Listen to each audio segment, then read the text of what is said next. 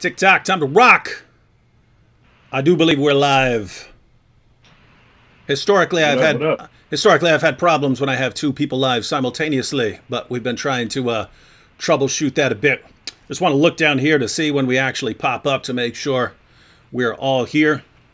All right, I see Adam with a drink. What are you drinking? What is that? Energy drink? Yeah, man. Uh, Bing, Bing, Chris. Bing. I drink Bings too.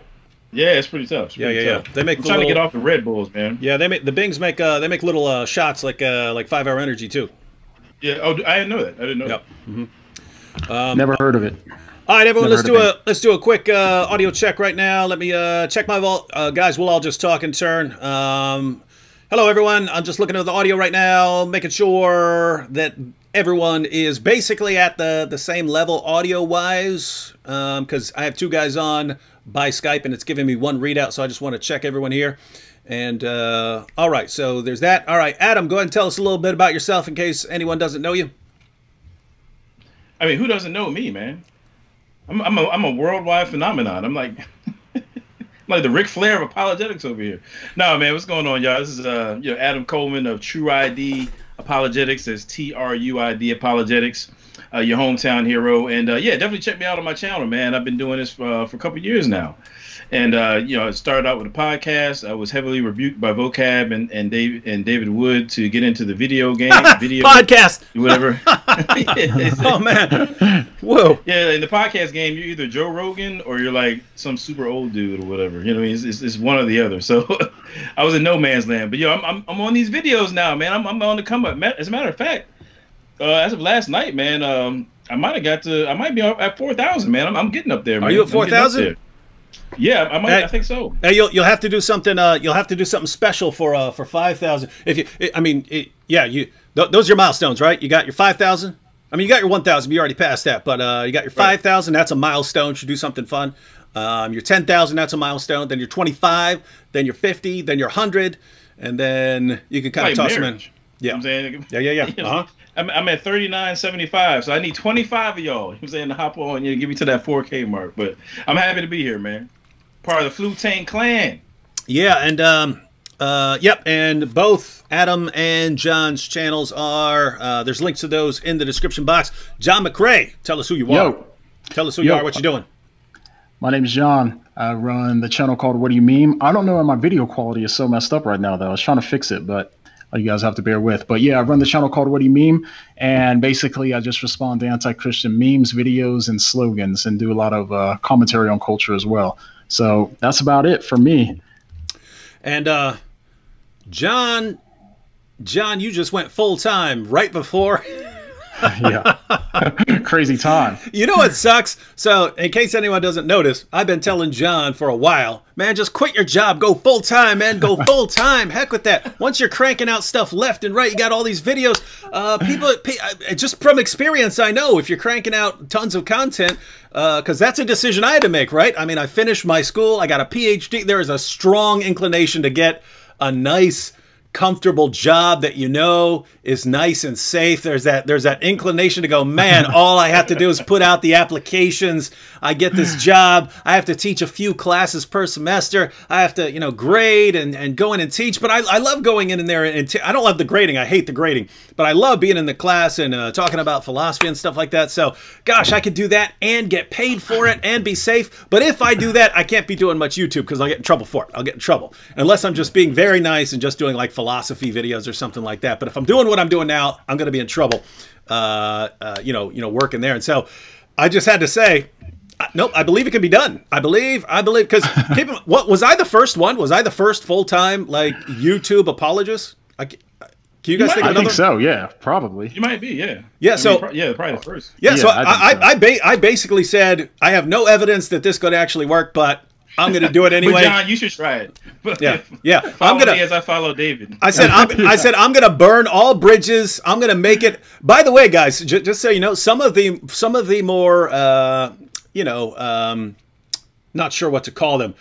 Um, some of the more radical views I made historically. Part of that was I'm going to make this video so that no one would ever hire me. That way, I can't even consider that an option, right? So I'm going to put part part of the reason I'm putting on my wife's nightie for this video is I know I, I know I will not be able to work after that, right? I mean, uh, really, I think I could. I think I could get away with it. But in my mind at that time, I was thinking, uh, I was thinking, nope. What can I do to make myself entirely untouchable? Untouchable, so that so that the only option, the only option is making killer videos on YouTube. So anyway, so I did that, and it actually it actually worked. I was able to See, go no. full time. One of my homeboys though, he uh, tattooed his face and everything like that because he said he was going to make it a music, and then he never did. So now he's working construction, which he doesn't want to do, but it's the only job he can get. Yeah, yeah, yeah. like, See, same kind of thing.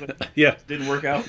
No, it So- didn't work out, man. So any so anyway, I, I think I was the first dude. Now there's now there's several. Now there now that now there are several people who are just full time YouTube apologists. This is what they do, and it's it's just awesome to have you know sites where you can be crowdfunded, where all the people watch your videos can chip in a dollar or five dollars a month or something like that. So anyway, I've been telling John. For like the what a year and a half, two years, something Yeah. like that. You could do it, man. You could go full time. Screw that job. Quit that job, man. Just, just, just, just burn all that, burn all those bridges. Just work. And I mean, just work at work at YouTube, right? And so uh, John finally does it, and then coronavirus hits, and now and now and now Like he, the next week. yeah, he he wasn't he wasn't he wasn't quite at what he needed to survive, but he was getting close, and he's like, ah, but if I just go full time now, you know, I'll be able to I'll be able to get there, I'll be able to get there, and then coronavirus hits when everyone's scrambling and everyone's scrambling to save their money, and so now, John, you're you're screwed, buddy. Uh, I tell you, Yeah, thanks, look, do, do not don't listen to me, dude. Don't listen to me. You should have kept your job, and then you wouldn't be allowed you wouldn't be allowed to go to work, and you'd be getting paid right now to not work and do YouTube. See that. Wait, wait a minute. Wait a minute. So, so did David Wood just give a whole testimony about being the, the source of John's financial ruin? Is that what? Yeah, exactly. Yeah, yeah, yeah. He just gave a testimony. It's his second Yep. testimony video. But all goes south. We know who to blame. We know who to blame. Yeah, because now everybody's scrambling to keep their money and all that too, because everybody's losing work and stuff. So everybody's losing support too. So it's like the worst time too. But it's all right. Thanks to David Wood, you know. So it's all his fault. Great job, Dave. What else can I say but you're welcome? Oh. Oh yeah. So anyway, the side note of that is, uh, guys, um, help out whoever you can, and by that I mean I, I don't mean me. I mean the people around you. You know, uh, I mean everyone all around the world. Uh, some people are going to be better off, right? Like like like me. I'm better off because I'm I'm online and I can still be doing what I'm doing. I'm better off than people whose entire ministries are like going around speaking, right? People who whose income depended on going around speaking at lots of places and stuff like that. They're going to be in trouble for the next couple months. So if you know someone like that, be be thinking about them. This is gonna this is gonna hit. Yeah. In other words, it's gonna hit me uh, less than it hits lots of people. But uh, people all over the world are going to be in those kinds of situations, right? Some people, um, like like if, if you're retired, right? You, you know, you still got you, you still have the same income coming in, so so you're not affected. If you had to go to work every day and you were barely scraping by. Um, these you know th these times could be hurting so those of you who are who are who are doing well and you're not really going to be impacted by this make sure you know you're looking around for people that you you can always uh, you can always help and those those of you who are in parts of the world where you're doing well uh, right, you know, think about Jon McCray if you can, because he's he's he's going to be losing some supporters who, and that's completely understandable. If you ever have to choose between donating to us and feeding your family, by all means, feed your family. So th- there are going to be there are going to be people who are struggling at least for the next few months, and so Yes, uh, it's perfectly it's perfectly understandable that uh, you know uh, you know you know, support's going to drop and stuff like that. So those of you who can uh, think about Jon McCray again, just went full time on the advice of a super genius. Well, I'm just glad I didn't follow your footsteps and, and wear a dress. So maybe I could still get a job. You got to do that. Go, go wear that. Go wear that. You hey, gotta uh, go all in, man. You gotta commit, brother. You commit. Lean into it. um, so uh, uh, John, I just put up a comment by Aiden. Remember Aiden? Yeah, what up, Aiden? Yeah, Good to see you, my man. yeah. We we uh, me and uh, me and Adam talked to him a little bit uh, yesterday here on on uh, on the show. But uh, yeah, guys, remember uh, if you weren't here yesterday, Aiden's a guy we uh, we went up to we went up to New York for for a conference with Frank Turek and. We uh, vocab wanted to just roll up on uh, on uh, the Hebrew Israelites up there in Harlem, and Aiden's like, "I'll come," and uh, so we're like, you, "You you sure, man? You know what we're getting into?" And uh, nope, he ro- he rolled right up in there. So yeah, that's About that life, man. yeah. Ready at all times, man. Smart kid, smart kid. Yeah. Uh, John Buckley said, David, whatever happened to Randy? So that's Randy from uh, the guy I talk about in my Christian I talk about my testimony video. Randy's still locked up. That guy had 21 felonies. Uh, yeah, 21 felonies. So Randy's still locked up. We send him money every every month. About a about a month and a half ago, uh, someone contacted me said david can you uh, can you uh, tell me how i can get a hold of randy? I want to send him some money. And i was like sure. So i, I gave him uh, randy's contact and uh, and then i heard from randy. He said hey this guy started this guy started uh, sending me letters and stuff like that and you know sending me money say hi and stuff. And i was like oh that, that's cool. So yep so randy's still locked up. He goes up for parole every year but uh, he goes up for parole in Virginia, and they're just not inclined to let people go. Might change with coronavirus. They might want to. They might want to start letting people out. But yeah, Virginia is kind of notorious for not letting people out, even like months months early. Uh, so yeah. Um, oh, hey, hey, Benjamin Handelman said, I also try to give John all of my money. Benjamin, don't give, Yeah. don't do not give John do not give John all of your money. All of your money. Yeah. No. your and all. And and in his pi- in his picture, he's he's he, he's, He's in a- sleeping in his car. He's in a military outfit and he's and he's and he's there with his wife. No, spend some of your money on your wife, guys. o- o- uh, only only only support only support us if you just you know you you you have you have you have extra money. Other than that, don't For real, don't guys, don't, yeah, don't, don't yeah. support us. Don't, Don't support go us. broke. Yeah. All right. Well, hey, let, let- I'm gonna let you guys speak for yourselves, man. Support me. Yeah. It doesn't matter. If you have one dollar to eat and feed your family, screw that. Send it to send it to Adam. I need it. I need it all. Hey, uh, hey, who, hey, who, who'd you say MJ Jackson is? You said you know MJ Jackson.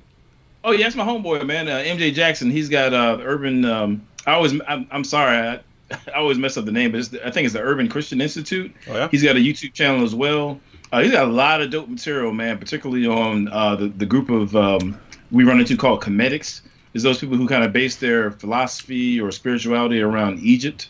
And so he's got a lot of great material on that. Does some book reviews and things like that. So you know, people Have should you, uh, definitely subscribe to him. Have you had him? Uh, have you had him uh, live with you? Uh, no, I don't think so.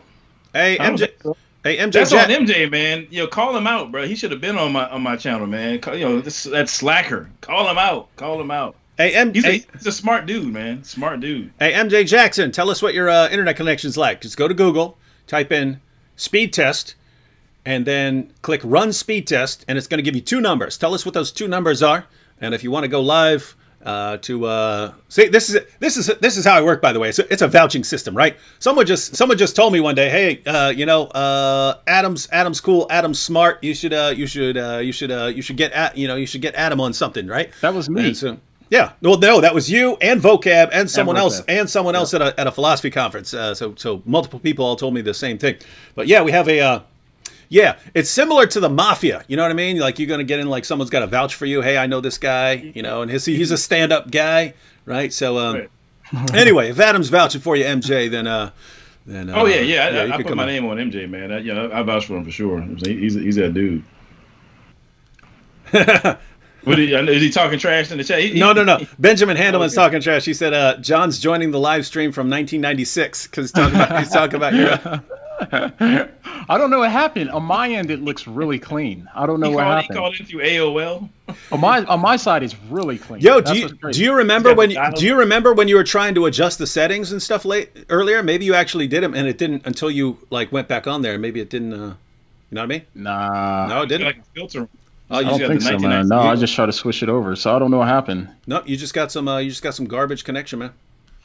That's lame. I wonder if I should hang up and then try to call back in. You think it'll let me in? No, do not mess with Oh it. yeah, if I hang up, it'll kick us all off, huh? No, actually, you just went clear for a second, so I think it's an internet thing. Yeah.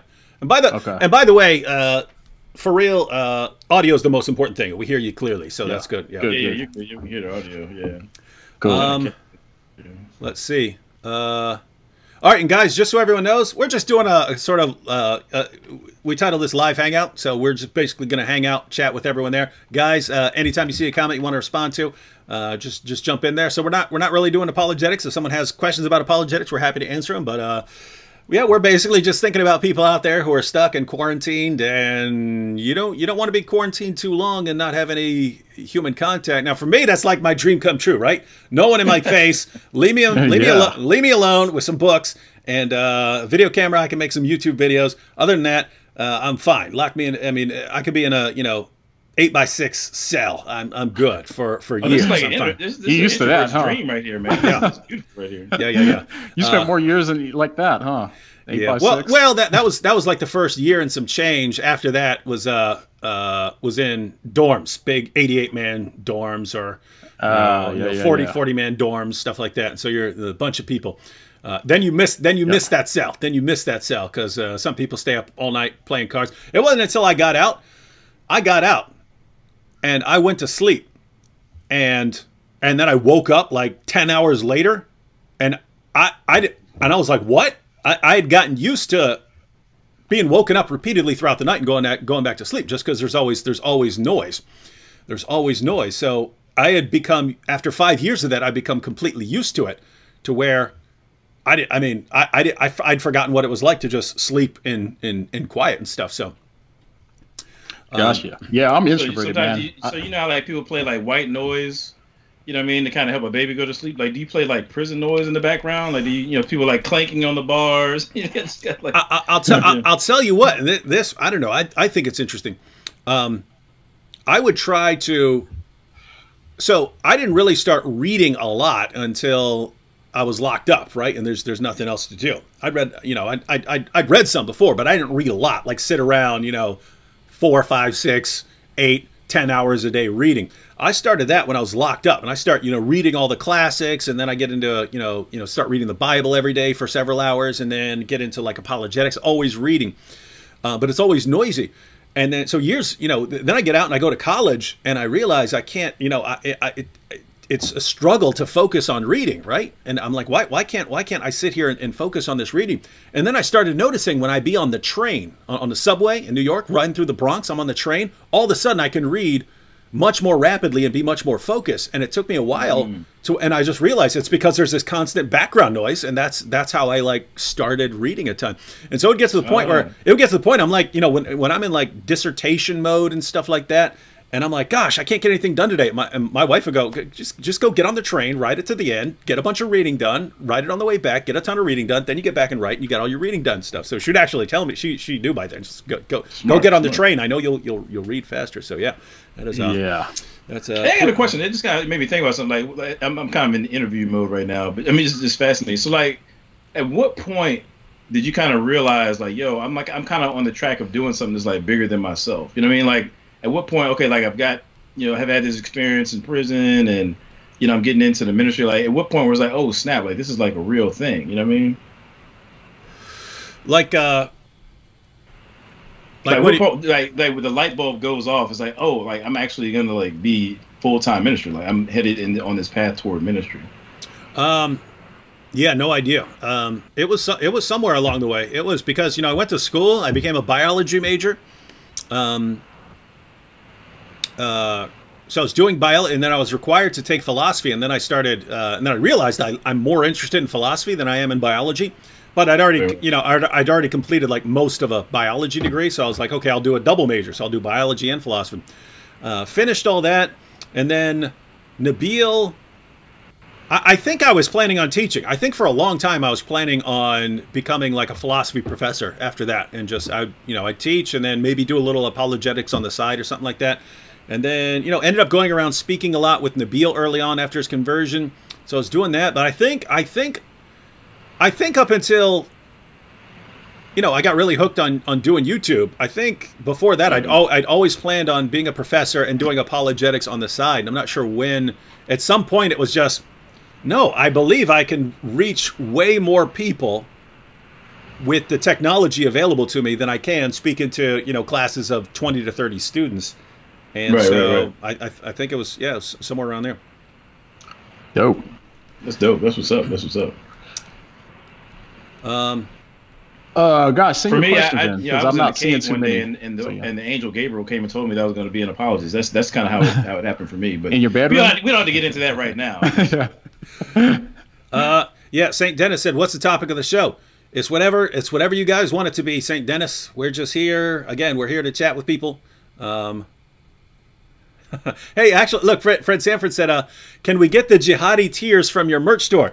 Now, guys, I was just joking yesterday because I was sitting here and it was like it was like a couple minutes before we were starting, and I, I I didn't have I didn't have a couple I didn't have a cup of water. I had a gallon jug of water, which is what I've been I'd been drinking out of. And so I was like, man, I'm gonna look like an idiot drinking out of this gallon jug. Let me write, and I, but I had a sharpie right here, so I was like, let me write, let me write jihadi tears on it. But then afterward, afterwards, I was like, well, that would be cool on a cup too, right? To just be sitting there with a, you know, if you just have a mug. So, uh, yeah, Fred Sanford, I think I'm just going to make a mug for my store. It says Jihadi Tears, and then anyone who wants the Jihadi Tears uh, J- Jihadi That's Tears mug can uh, Yo. can have that. What's Um, up? Adam, have you watched all the Islamicize Me? I know. Not all. I haven't watched. You watched probably all. haven't. Oh, you haven't. seen- Uh, you're Because slipping. there, oh, there was like a couple. I, I watched like several of them, and there was like a couple episodes. I don't. I don't know how I, I missed it. You know what I'm saying, but I, I feel like I missed a couple in the middle. oh yeah, yeah. See, he's not even watching our stuff. Wood, what do you say about that? That's why he's an amateur, man. If he'd watched that, he'd be he'd be owning this internet thing right now. I'd be a genius. I'd be a YouTube genius right Hey, there. Yeah. a- actually, uh, I I offered uh, I offered. He still hasn't given me his official answer yet, but I offered uh, I offered Adam the role of the angel Gabriel in Muhammad meets the angel Gabriel, right? So so Muhammad's gonna sit down. He's gonna say, "Who are you, sir?" And he's like, "I'm the angel Gabriel." He's like, "What?" You're not the angel Gabriel. The angel Gabriel has horns and he's red and he has this creepy tail and he always chokes me. And so, so then, then Adam, aka the angel Gabriel, will be like, "That's Satan, you moron." He's like, "What? Satan's a black man." As I say in Ibn Asakir, Satan's a black man, right? And so, uh, so anyway, so so that would be the beginning. But then, well, they're hey, you know, I, I think I can convince my wife to let me do it, man. Oh, yeah? we're good on that. oh, that would Yeah, be yeah. that would be dope. Yeah, right. Yeah, right. I, I I agree to keep it on the tamer end of things that won't get that's le- that are less likely to get you killed. they won't give me. They won't give me stabbed or shot. Yeah, yeah, yeah. When it comes to getting killed, we'll keep vocab in front. right, right, right. He's like our shield, our body shield. yeah, yeah. Don't worry, vocab will get. He'll get it first. yeah, vocab. Yeah. Yeah, but like um, I was wondering because I watched back. Uh, Wait, I, what do you said I watched back like half of Islamicize Me a couple weeks ago, and it's funny. So if you guys haven't seen it, you should watch it. Just search Islamicize Me. It's a series that we did, me, Wood, and Vocab. It was fun. Oh yeah, someone someone post the uh, link to Islamicize me. Yeah, guys, and and people people don't know, but um, uh, um, that was ba- that that was based on a true story, right? Yeah. Vocab had a friend who um, was a convert to Islam and died while trying to kill Robert Spencer and Pamela Geller in Texas. So the uh, the idea of the series is you got these three guys, and by the way, it was it was it was three guys. One of them sort of dropped out of the plan at the last second, so two guys went and tried to kill everyone. They got killed uh, trying to storm the place, and um, yes, we made a video about three guys who convert to Islam. But instead of you know just going with the normal stuff they tell you, we actually had these guys go through the Muslim sources and start trying to live everything. And basically, by the end, they were so messed up and sick from all the diseases they caught from actually uh, you know following Muhammad's commands that you know they were basically passing out before they could ever go on a killing spree. And so so anyway, that's, uh, it was a fun fun series. Yeah, and Robert. So this is yeah, this is why it's dope. Robert Spencer's in it, right? Um, like he was saying, Robert Spencer. A few times he people have tried to kill him, and he survived. He was poisoned in uh, where was he in um, uh, U- the UK or whatever. He was poisoned and stuff. Still lived. And so in the series, we actually give him like superpowers, where like the jihadis try to kill him, and he has these superpowers, so he can't die. he starts doing all this crazy stuff. It's pretty dope. Oh, but So- by the by the way, so this is this is funny, sort of uh, behind the scenes stuff for people who've watched Islamicize Me. Um, uh, for that, that was because Vocab wanted a rewrite. I had initially planned it as Yeah. a sort of spoof on. This is before your time, John. Uh, Adam, you might you might recall there was a movie in the '80s called The Untouchables with uh, Oh, with with Sean Connery and Kevin Costner, and uh, there's a scene where a du- an assassin. Uh, there, and a, one of Al, Al Capone's assassins shows up to kill Sean Connery, who's a police officer, and he's following him around the house. He's got a knife, and he's just and he's following him around, and he right when he gets up to him about to stab him, Sean Connery turns around with a shotgun and goes, "Don't ever bring a knife to a gunfight." And uh, and so, and matter of fact, I think it was just like a something, Yeah. some derogatory term, just like a such and such brings a knife to a gunfight, and then Yeah. so the guy runs and then he dies. Anyway, I was going to have a jihadi, th- these us, the jihadis, we're going to show up to kill Robert Spencer, but we got knives, and then he turns around with a gun and says, uh, just like a jihadi, brings a knife to a gunfight. And then uh, we take off running, and Vocab's like, "No, I don't think it's good to threaten people with a gun on here and stuff like that." I was like, "What can I do?" Uh, we we were, I don't know, we were brainstorming or something like that. We're like, wait, let, let's make, let's give them the ability to like force choke people and stuff like that. So that's how we came up with the, uh, the magical, the magical version of Robert Spencer. Hey, I think we got like a real wrestling fan in the chat here. Somebody asked, uh, well, first, it's, I think they're referring to, uh, they said something about Halal Hogan. your boy Sam Shamoun, and they were like, "There's a spinoff with Muta Man." I don't know if they're saying there is one, or there, Oh, yeah, yeah, some- yeah. or we should do one, or No, there, there was a there was a uh, yeah. There's there's a plan to see uh, that that's a, that's another uh, that's another behind this sort of behind the scenes thing. The uh, the Halal Hogan came about by accident. we had Sam Shamoun playing the uh, the the Imam, the Sheikh, the Mad Sheikh in the series, and then. Um, we're, we're just dri- we're just driving around. We'd, we'd finished. I think we'd finish. I think we'd either finish recording or we fin- we'd finish most recording, and we're we're, we're driving. We just dropped John off at the airport, and then it's me, Vocab, and Sam.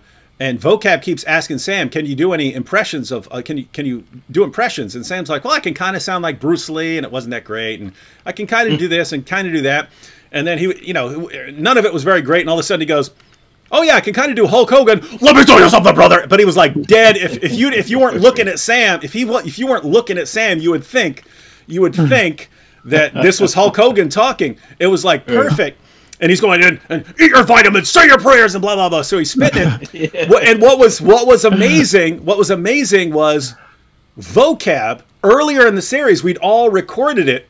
Had already mentioned just improv halal hogan right when when we came in there and we after we beat up the big pimp and you know we came in there and, I, and uh, he goes you were like halal hogan it's just a name he it was just a name he made up and then but then it turns out sam could do hulk hogan completely unknown to us Oh, and snap, then that's dope. and then so we, we we made the character and it- we had already we'd already introduced him and so it was, uh yeah, that was just that was just nothing. Providence, man. That's what it was. No, man. remember um, we brought in. So we were like, uh, it was before. So when we first got out to start filming, we didn't even write um, Sam into the script, right? Mm-hmm. And then all of a sudden we're like, well, yeah, he can play an imam. And then when he came, he was just like one take, and he was just like excellent. He was like perfect. We're like, what the heck? Sam can act. Yeah, no. Look, Sa- Sam, Sam was like, we we had tried a bunch of other people. I was trying to get Al Fadi. I was trying to get all kinds of people to be the the imam. Couldn't find anyone who wanted to be an Islamicized me and play that kind of role. So uh, Sam was like, would have been good. He would have been a good one too, man. yeah, yeah, yeah, yeah. He's, No, got, he's got like that gangster kind of look. Like you know, he, he could have been like the cool, calm villain. Yeah, he could so- have pulled that off. Yeah, but and, and but but when Sam came down, we had we had no idea, right? I mean, we see Sam doing, you know, you know, you know, uh, talking about Islam and doing apologetics and stuff. But we sit down in front of him and we just tell him, okay, do a do a sermon on science and the Quran, and his eyes got all he, his eyes got all big, and it was just improv. And we made it like we might have made it like ninety seconds, and then we all we all just we were busting out laughing, and he had to finally stop. And then he had to kind of, you know, tell us, guys, I can't do this if y'all are cracking up laughing the entire time. But but as, as as funny as it looks in the videos, it's completely different when you're sitting when you're sitting in front of Sam and he's looking down at you with these bug eyes on, on his head and he's going, The Hikmah! The Hikmah! Right? And so it was just insane. And they were like, whoa. And yep, and then it turned into a halal Hogan. So anyway, the, uh, someone uh, if they're talking about uh, we're going to do a spin-off with Hulk Hogan because he's a he's a a, uh, a Sunni sheikh, a sort of Salafi Salafi sheikh. But we're going to have another character who would be uh, the Mutta man, the Mutta man, Randy Shia, uh, maybe Ramzi Shia or something like that. But he's going to be like like the uh, the Macho Man, but he's going to be the Mutta man. So he's going to be a Shia, and he's going to be his rival. And then we're going to have them.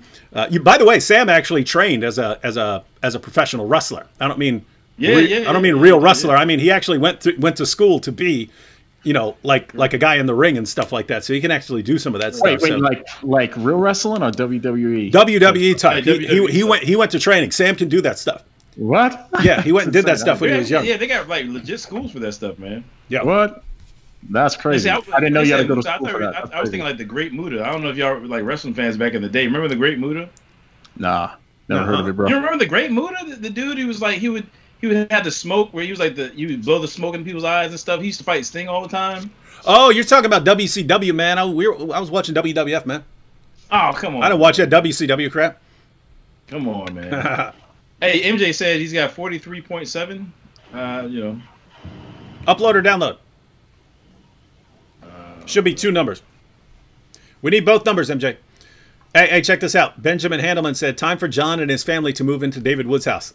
yep, yep. That's a, that's the consequences. John, if- John, if things get bad, we do have an extra room here. Uh, For all six of us, We'll- I'm we'll- just kidding. There's only four of us. we'll figure it out and make it work. We'll, fi- we'll we will figure something out. it's like the Brady Bunch. You know, yeah. That's funny. Um, Hey, hey, s- hey. Somebody said they had a question for John that they that that uh, I super just chatted. I don't see it, but I mean maybe I one of us can scroll back and get it. Hold on. So, so, someone just said, "Is Sam Shamoun live right now?" Because that would be. I will go and troll his channel and tell everyone to come watch me. this might have been a couple minutes ago. Is he still live? Oh no, he's not live anymore. Oh, that would have been so funny. Nothing, nothing is more fun than going over to Sam's channel. And uh, yeah, Sam's gonna be on my channel tomorrow, by the way. Well, you have our sympathy. Yeah. Yo, you should, you should make him do the the uh, Halal Hogan uh, impersonation like the whole time. He's got to do the whole interview The whole in the in the Let me tell you voice. something about the Trinity. Let me tell you something about the Trinity, brother. Yo, you guys send us in your questions too because um, I'm trying to look now for some questions. I didn't really see very many. Well, I came across one. Uh, I'm not sure if it's out of order or not, but if you, want I can just throw it up there if y'all want. Hey, hey! I just realized. Uh, I just realized uh, with the three of us here, we could call ourselves Oreo Apologetics. Are you in the middle? Huh? You are in the middle. you, you, oh, you switched it to, to be. Oreo, Oreo Apologetics. That'll go over real well. With extra double stuffing. Oh snap! Shots fired. Uh, I, I see a super chat here. I don't know if I'm out of order or not, but if y'all want, I can just go ahead and read it. Yeah, yeah, yeah. Go it. ahead. All right, it says um, this is from Harley Wykes. I guess it is. You know, I'm, I'm thanking you for uh, the super chat on David's channel. You know what I'm saying? Um, you know, what do you think of Plantinga's reformed epistemology? What would and, and I guess the follow up is what would you say if a different religion had a similar epistemology? Yeah, I like this one, huh, Alan? Oh boy! Everybody Yeah. already knows. Oh, Yeah. man. My apologists If- friends know. If I'm John, if, Me and John are gonna start fighting, man. you if know? John, n- n- well, it's going to be two on one because you and me are on the same side of this, and Jon McCray is the uh, is about to get schooled here. We we don't Seems like I'm the only one with common Okay. sense when it comes to look. comes We're to this. we're going to have to. We're going to we you know we can't spend two hours on this, so we're going to have to just like limit it to some brief comments, basically giving uh, our views. Let me just give you a quick uh, quick uh, what I think about Alvin Plantinga. Why I like Plantinga, uh, especially in especially in that in, the, in that main article where he where he presented that. Um, but uh, it's classic paper. It's in it's in pretty much all the uh, like if you get a, a philosophy of religion anthology and something like that, that that's uh, that's always in there. Um, but uh, yeah, how he does it when he argues, Plantinga will respond to someone's paper. So someone will make an argument, and Plantinga will basically give an overview of what the guy says, and then he will say, well, I wonder what he means here. Well, he can't mean this because if he meant that, I could simply refute him by saying this. So we'll assume that he's mean he means this other thing, and then he'll start going along going along that way. Now, if he means this, then this raises this problem, and I could refute that. So maybe we could fix his argument by doing this. And what happens is he keeps doing this over and over again until you get to an argument that was much stronger than what the other what the other guy even because you know now it's Plantinga's brain arguing this guy's case for him, and he ends up modifying the guy's position until it becomes a much stronger version of that guy's position, and then he'll destroy it. Right? Then he'll then he'll destroy uh, then he'll destroy that guy's case. Um, with that said, I'm not completely not completely set on Plantinga's position. Uh, keep in mind that he doesn't um, he doesn't say that that th- there can't be a defeater for this kind of belief, right? So you know, if you have some sort of uh, direct access to God, some sort of um, some some sort of uh, uh, some sort of sensus divinitatis, right? If you have some sort of direct sense of God, he's not saying that can't be defeated, right? He's not saying you can't have evidence that somehow proves that that, that that's wrong, but he's saying that you can, you know, believe in God uh, based on that, without what he what he calls, you know, propositional evidence, right? In other words, uh, evidence based on arguments and so on. So I happen to believe that he's right about that. I'm assuming I've never talked to Adam about this, but I'm assuming just based on that little prequel right there that Adam agrees with him too. So we'll go ahead and let John John give his view next, and then we'll let Adam speak uh, finally. Oh, oh, oh, okay. John for the chat. Yeah. Oh yeah, that's smooth, huh?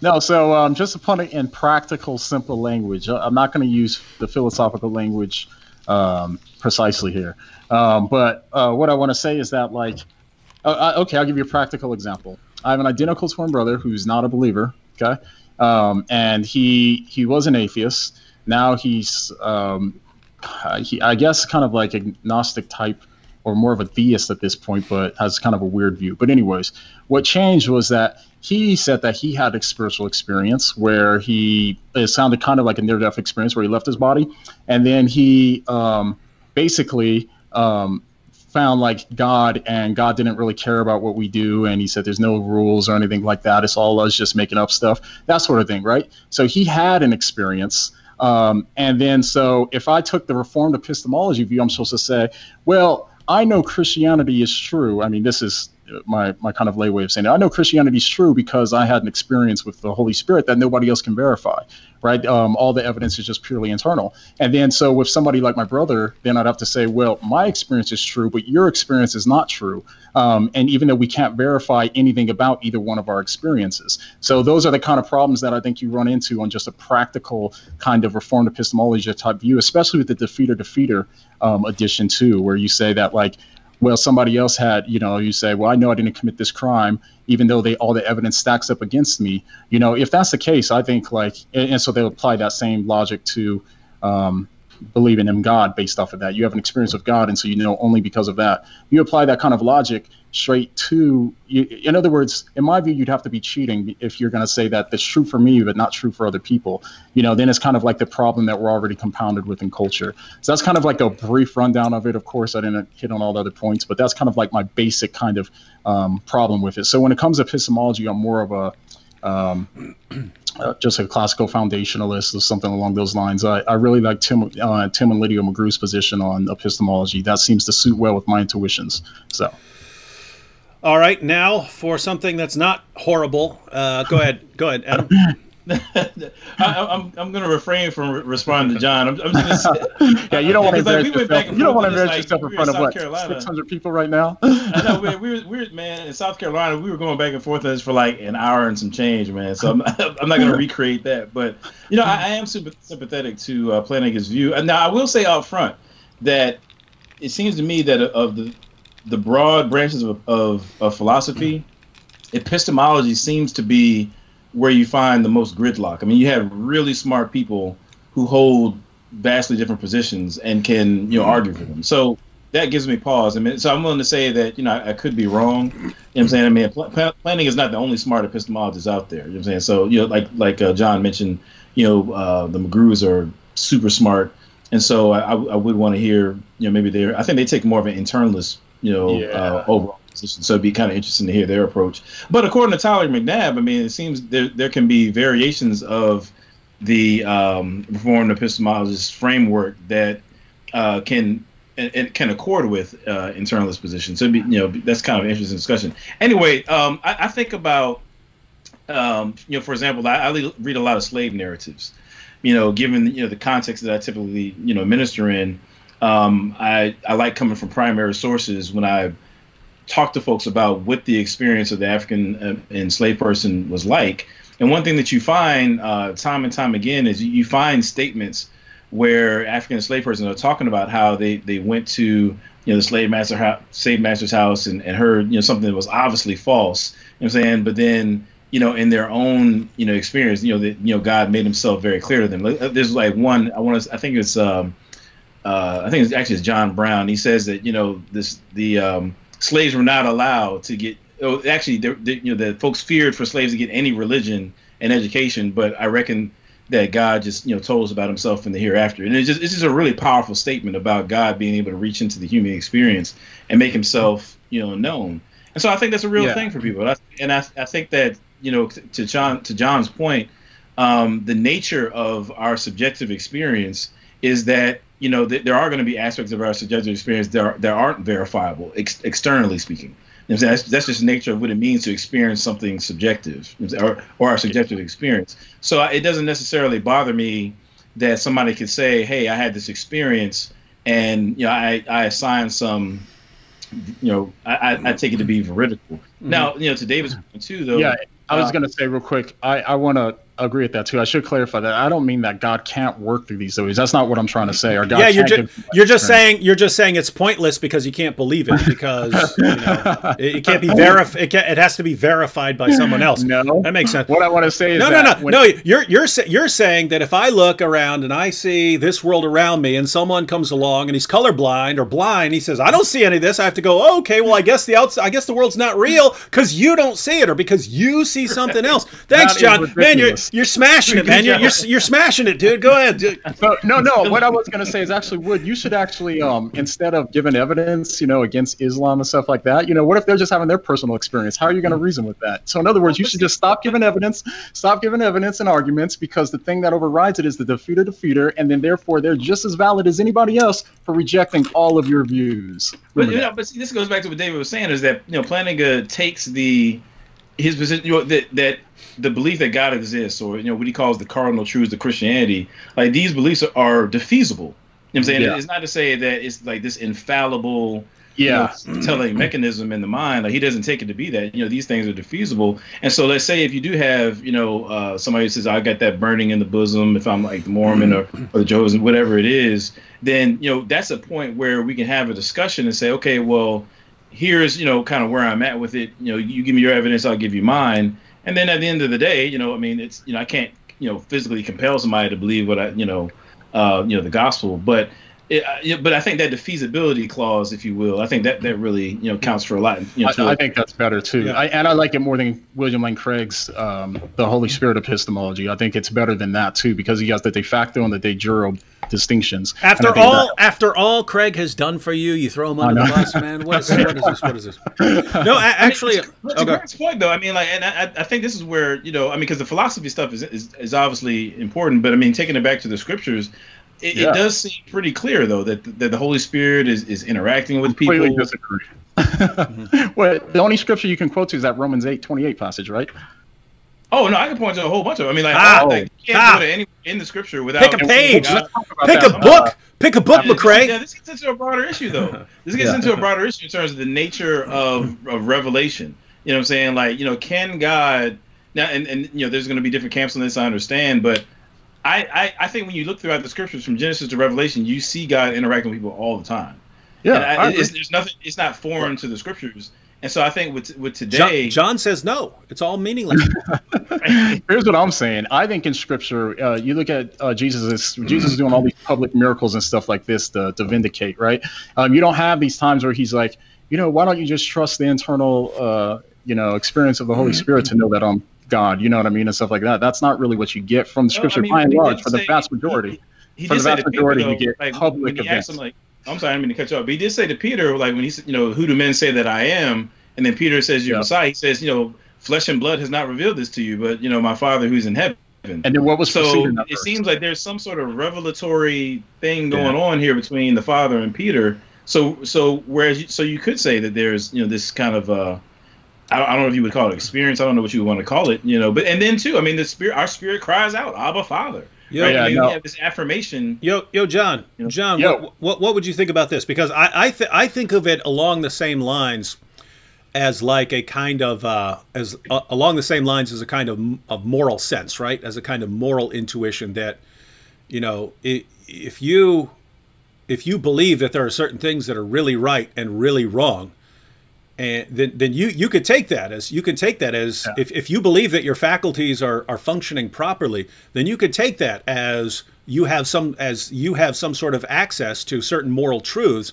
and you may not be able to describe it or explain it or even defend it but you could think of it that way. But that could be defeated right? If someone comes along and convinces you that um, you know you, you formed in a completely different way and that your cognitive faculties can't be trusted and that was wired into you by a process that just helped people who were wired like that to survive then then you could start thinking well okay well yeah m- maybe that doesn't fit with it with that view and maybe i can't trust maybe i can't trust uh, my moral reasoning faculties maybe they are flawed and so yeah maybe that maybe that Yeah. you know maybe maybe maybe they don't work like that so i'm, th- I'm thinking i'm thinking uh, uh, along those lines of if you have some sort of um, experience of of god um, if you have some sort of experience of God, if you're if there is some sort of faculty for that, that some or all human beings have, and in some it works well, and in others it's defective. Uh, if there is something like that, then you know you take that as some you take that as as some sort of basis but you know if you found out that you just can't trust your faculties like that or that things need to be verified or that you you can trust it i mean you have a basis for that in scripture. The apostle paul got revelations about the gospel. The first the first chance he had he went to the apostles and said hey uh, i want to i want to run this gospel by you. I got this by revelation but i'd like to run this by Yeah. you to make sure it actually lines up with what Yeah. jesus taught. And so you can actually go out and, and test and, and actually uh, and actually make sure any sort of you know personal experiences or revelations actually line up with that that act, that can actually be tested that you actually can test them Yeah, yeah, no. So with with the the external faculties, that's more of like an externalist uh, view of epistemology, and I'm more of an internalist. So I think that's where the difference would be. But I would say when it comes to like these moral intuitions and stuff like that, with intuitions, um, I notice that people have a vast array of intuitions, and so I say that intuition is a good starting point. Doesn't mean it's true. You don't just accept that it's true just because you have the intuition. So it's similar to what you're saying. I think I say that it's a good starting point, and then you can use reasoning and other tools and stuff like that to see if you can um, confirm that it's actually more veridical or it's something that's more to it. So that's that's the way I would look at it, basically. hey hey sh- shout out to uh shout out to cameron bertuzzi capturing christianity who's uh, who's Yo, in what the, up, Cameron? who's in the super chat but uh, uh there's another guy who just just went full time Yeah. Right, right. I can I, I can I can happily say that I did not advise him. So if he if he if yeah, he Cameron did it right. if his min, if his ministry implodes, that's that's on him. Um, but uh, yeah, he says, by the way, reformed epistemology is true. Yeah, yeah.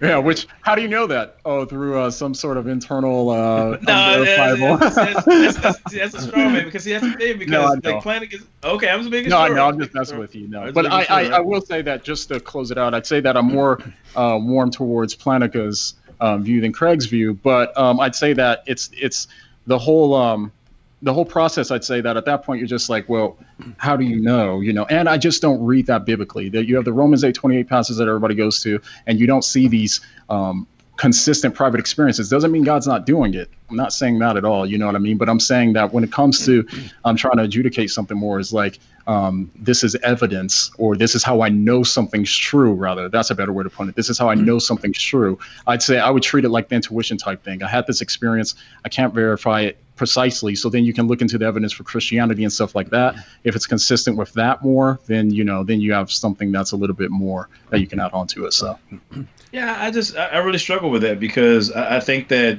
you know Scripture is pretty adamant. You know that, that we can have this confidence. You know um, that we belong to to God. You know what I'm saying? And- by, oh, the, yeah. the Holy Spirit. But how? I mean, I- it's because of what Jesus did why we have the confidence. That's why always. Well, no, but wait a minute. to him. I But you, but if somebody if, if if somebody were to ask you know Paul the question like how do I know that I'm saved you know what I'm saying then he could reflect back on what he wrote like didn't I just tell you that no I mean he, he's not going to say whole- that what does he say in Galatians and Ephesians and Romans? All of these, he's pointing to what Christ did on the cross every time. That's how he's saying he knows. He says, We know this, even the sonship verses, like in Romans, you know, and the one in Galatians and all. He says, We can know this because of what Christ did, basically. And so that's Yeah, why we know also- we've been adopted okay, to his so there's- family. so there's no disjunct between acknowledging the work of the cross you know what I'm saying and acknowledging the work of the Spirit you know I'm saying they, they're, they're all involved you know what I'm saying you know in, in our in our salvation Saying I agree. I just don't see him appealing to his. Appealing so to when you think about was that I don't see him appealing to an internal experience of this the spirit in order to know I that mean, Christianity or to know what that he's saved and we're not in our sins. That that's the only difference I'd say. Well, I mean, I, we can we can read it though. You know, um, I mean, I, I know we didn't want to spend a whole lot of time on it though, but you know, I mean, just tell me what, what book you're thinking from. Thinking from uh, Romans, gonna bring Galatians. Ephesians. Um, while, while he's Yeah, so- while he's looking that up, John, uh, not a verse Yep. here. You can answer this real quick while he's getting his passages together.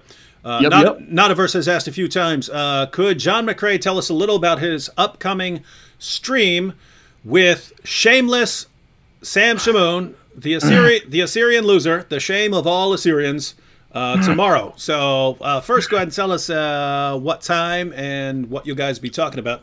Yep. Yeah. So the stream will be tomorrow night, about the time this stream started, I believe. It's uh, Oh, oh well, I Eastern. then I should not probably go live tomorrow night. I'll just tell everyone to go over there. Yeah, that's a good idea. Oh no, no! live. I said Definitely yeah. live Now, now, Adam's me, me and Adam are gonna go live. So, guys, yeah, you can go over to John's channel for this super boring and possibly heretical. No, no, definitely heretical presentation by shameless, shameless Sam Shamoun, the wolf in sheep's clothing. Really, really not very bright wolf in sheep's clothing.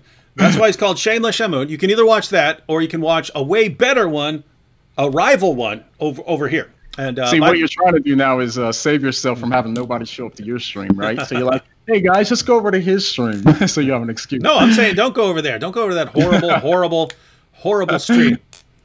Um, so yeah, tomorrow we're, we'll be talking about the Trinity, and basically, um, Marcus Rogers is a popular YouTuber um, who's a oneness Pentecostal, so he doesn't believe in the Trinity. And um, people say that he changed his position, by the way, and he hasn't. Um, he, this video that we're going to be responding to just came out two months ago. Um, people read the title to one of his videos, but he didn't say he changed his view on it. Um, but anyways, um, maybe he, he changed some small nuance when I how I remember the video is basically he changed the fact that he doesn't think that Trinitarians are unsaved or something like that. Now he thinks that um, they're both saved. But anyways, um, he has a video recently where he says these are questions that he's given to Trinitarians, the people who believe in the Trinity, and so we're going to just be going through those those questions. So we're not going to be like uh, dogging on on Marcus or nothing like that. Really, that's not really the goal of the stream that I wanted. I just kind of wanted to answer these questions because they're good, practical questions that help you understand the Trinity and clears up a lot of the misconceptions because he uses these kind of same arguments a lot to argue against uh, the Trinity. And I think that these um, these kind of objections there aren't aren't that great. So um, we'll go through it, and I think that it will really help other people understand the Trinity a little bit better. So that's the plan for the live stream tomorrow night. Cool, cool. Hey guys, I, got, I I was supposed to put my kids to bed like 15 minutes ago. I'll be right back. Oh, run and do that real quick. We'll run through some I'll be questions right, right back. Yep, go ahead. Um, Rabbit Wolf says, please give the correct definition of the word contradiction. People like Jimmy Kahn use this. I don't know who Jimmy Kahn is, but use this word incorrectly constantly. Um, yeah, a, a contradiction is uh, you have to be careful, right? If you're talking about something, we, you know, in regular discourse, we tend to use it a little more loosely, uh, loosely than. Um, let me see if I can get rid of this uh, screen for a second. Um, um, how would I get rid of him? Uh, I'm nervous. What's this going to do? Ah, nope. Dang it. All right. Let me start. Let me start over here. All right. We're going to go. Uh, oh, there we go. Ah, no. Dang it. All right. Ah! Okay, hang on one second, one second. One more try, ladies and gentlemen. Here we go. Now we're just going to go John. Now, bam, look at that. All right, learn how to use the controls here. Okay. So you're old. You got to stop trying to mess with technology, being that old. Yeah, yeah. Keep Oh, so so so so a contradiction is basically claiming that something is true and false at the same time in the same sense. Right? something is true and false at the same time in the same sense. And so if someone's doing that, then they got a problem. And basically the law of contradiction is sort of the admission, the price of admission into the world of rational thinking, uh, philosophy, rational thought. And so uh, yeah, and, and no, notice what's what's interesting is if someone's willing to grant a contradiction at, at the foundation of their of their reasoning, there's nothing you can do to refute it aside from pointing out the contradiction. Right? In other words, if they say, "I don't care, I've got a contradiction," there's nothing you can then do to, to prove them wrong. So uh, take Matt Dillahunty, right?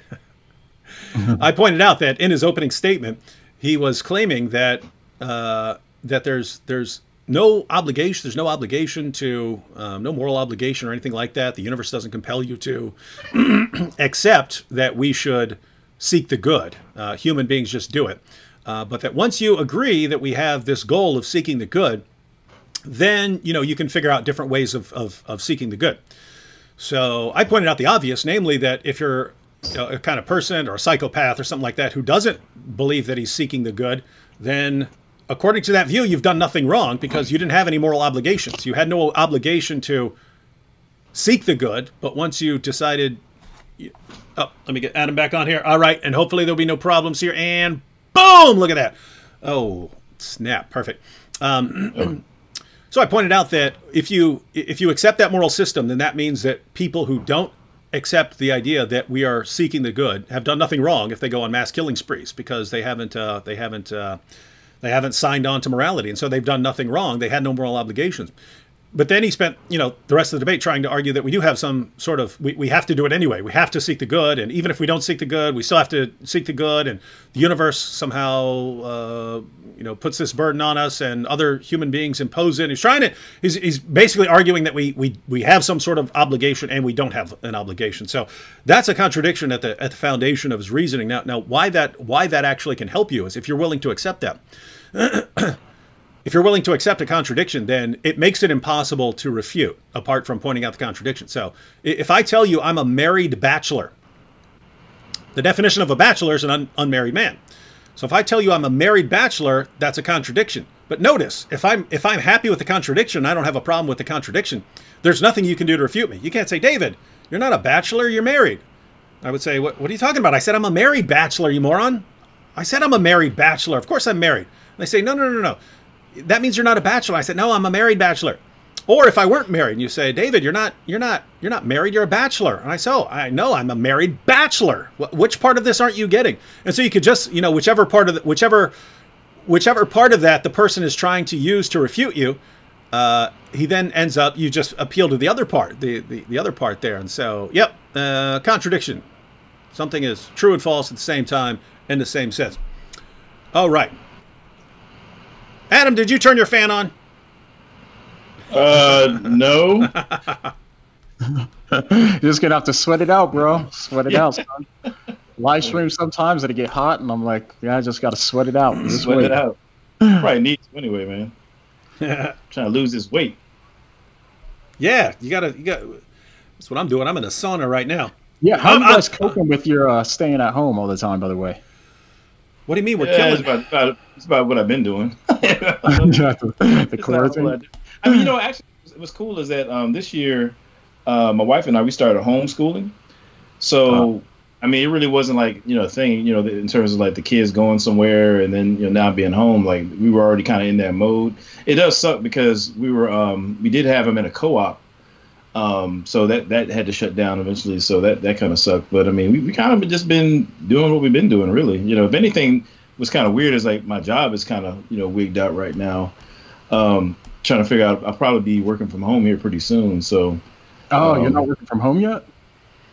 Nah, man, nah, Ooh. and it's crazy. I, I, work at a hospital too. You know what I mean? So uh, I have been in and out. You know, um, like with my job, I work with uh, homeless veterans and so having to check on them and that kind of stuff, and you know, trying to make sure they're, they're squared away. That, Fortunately, that's why.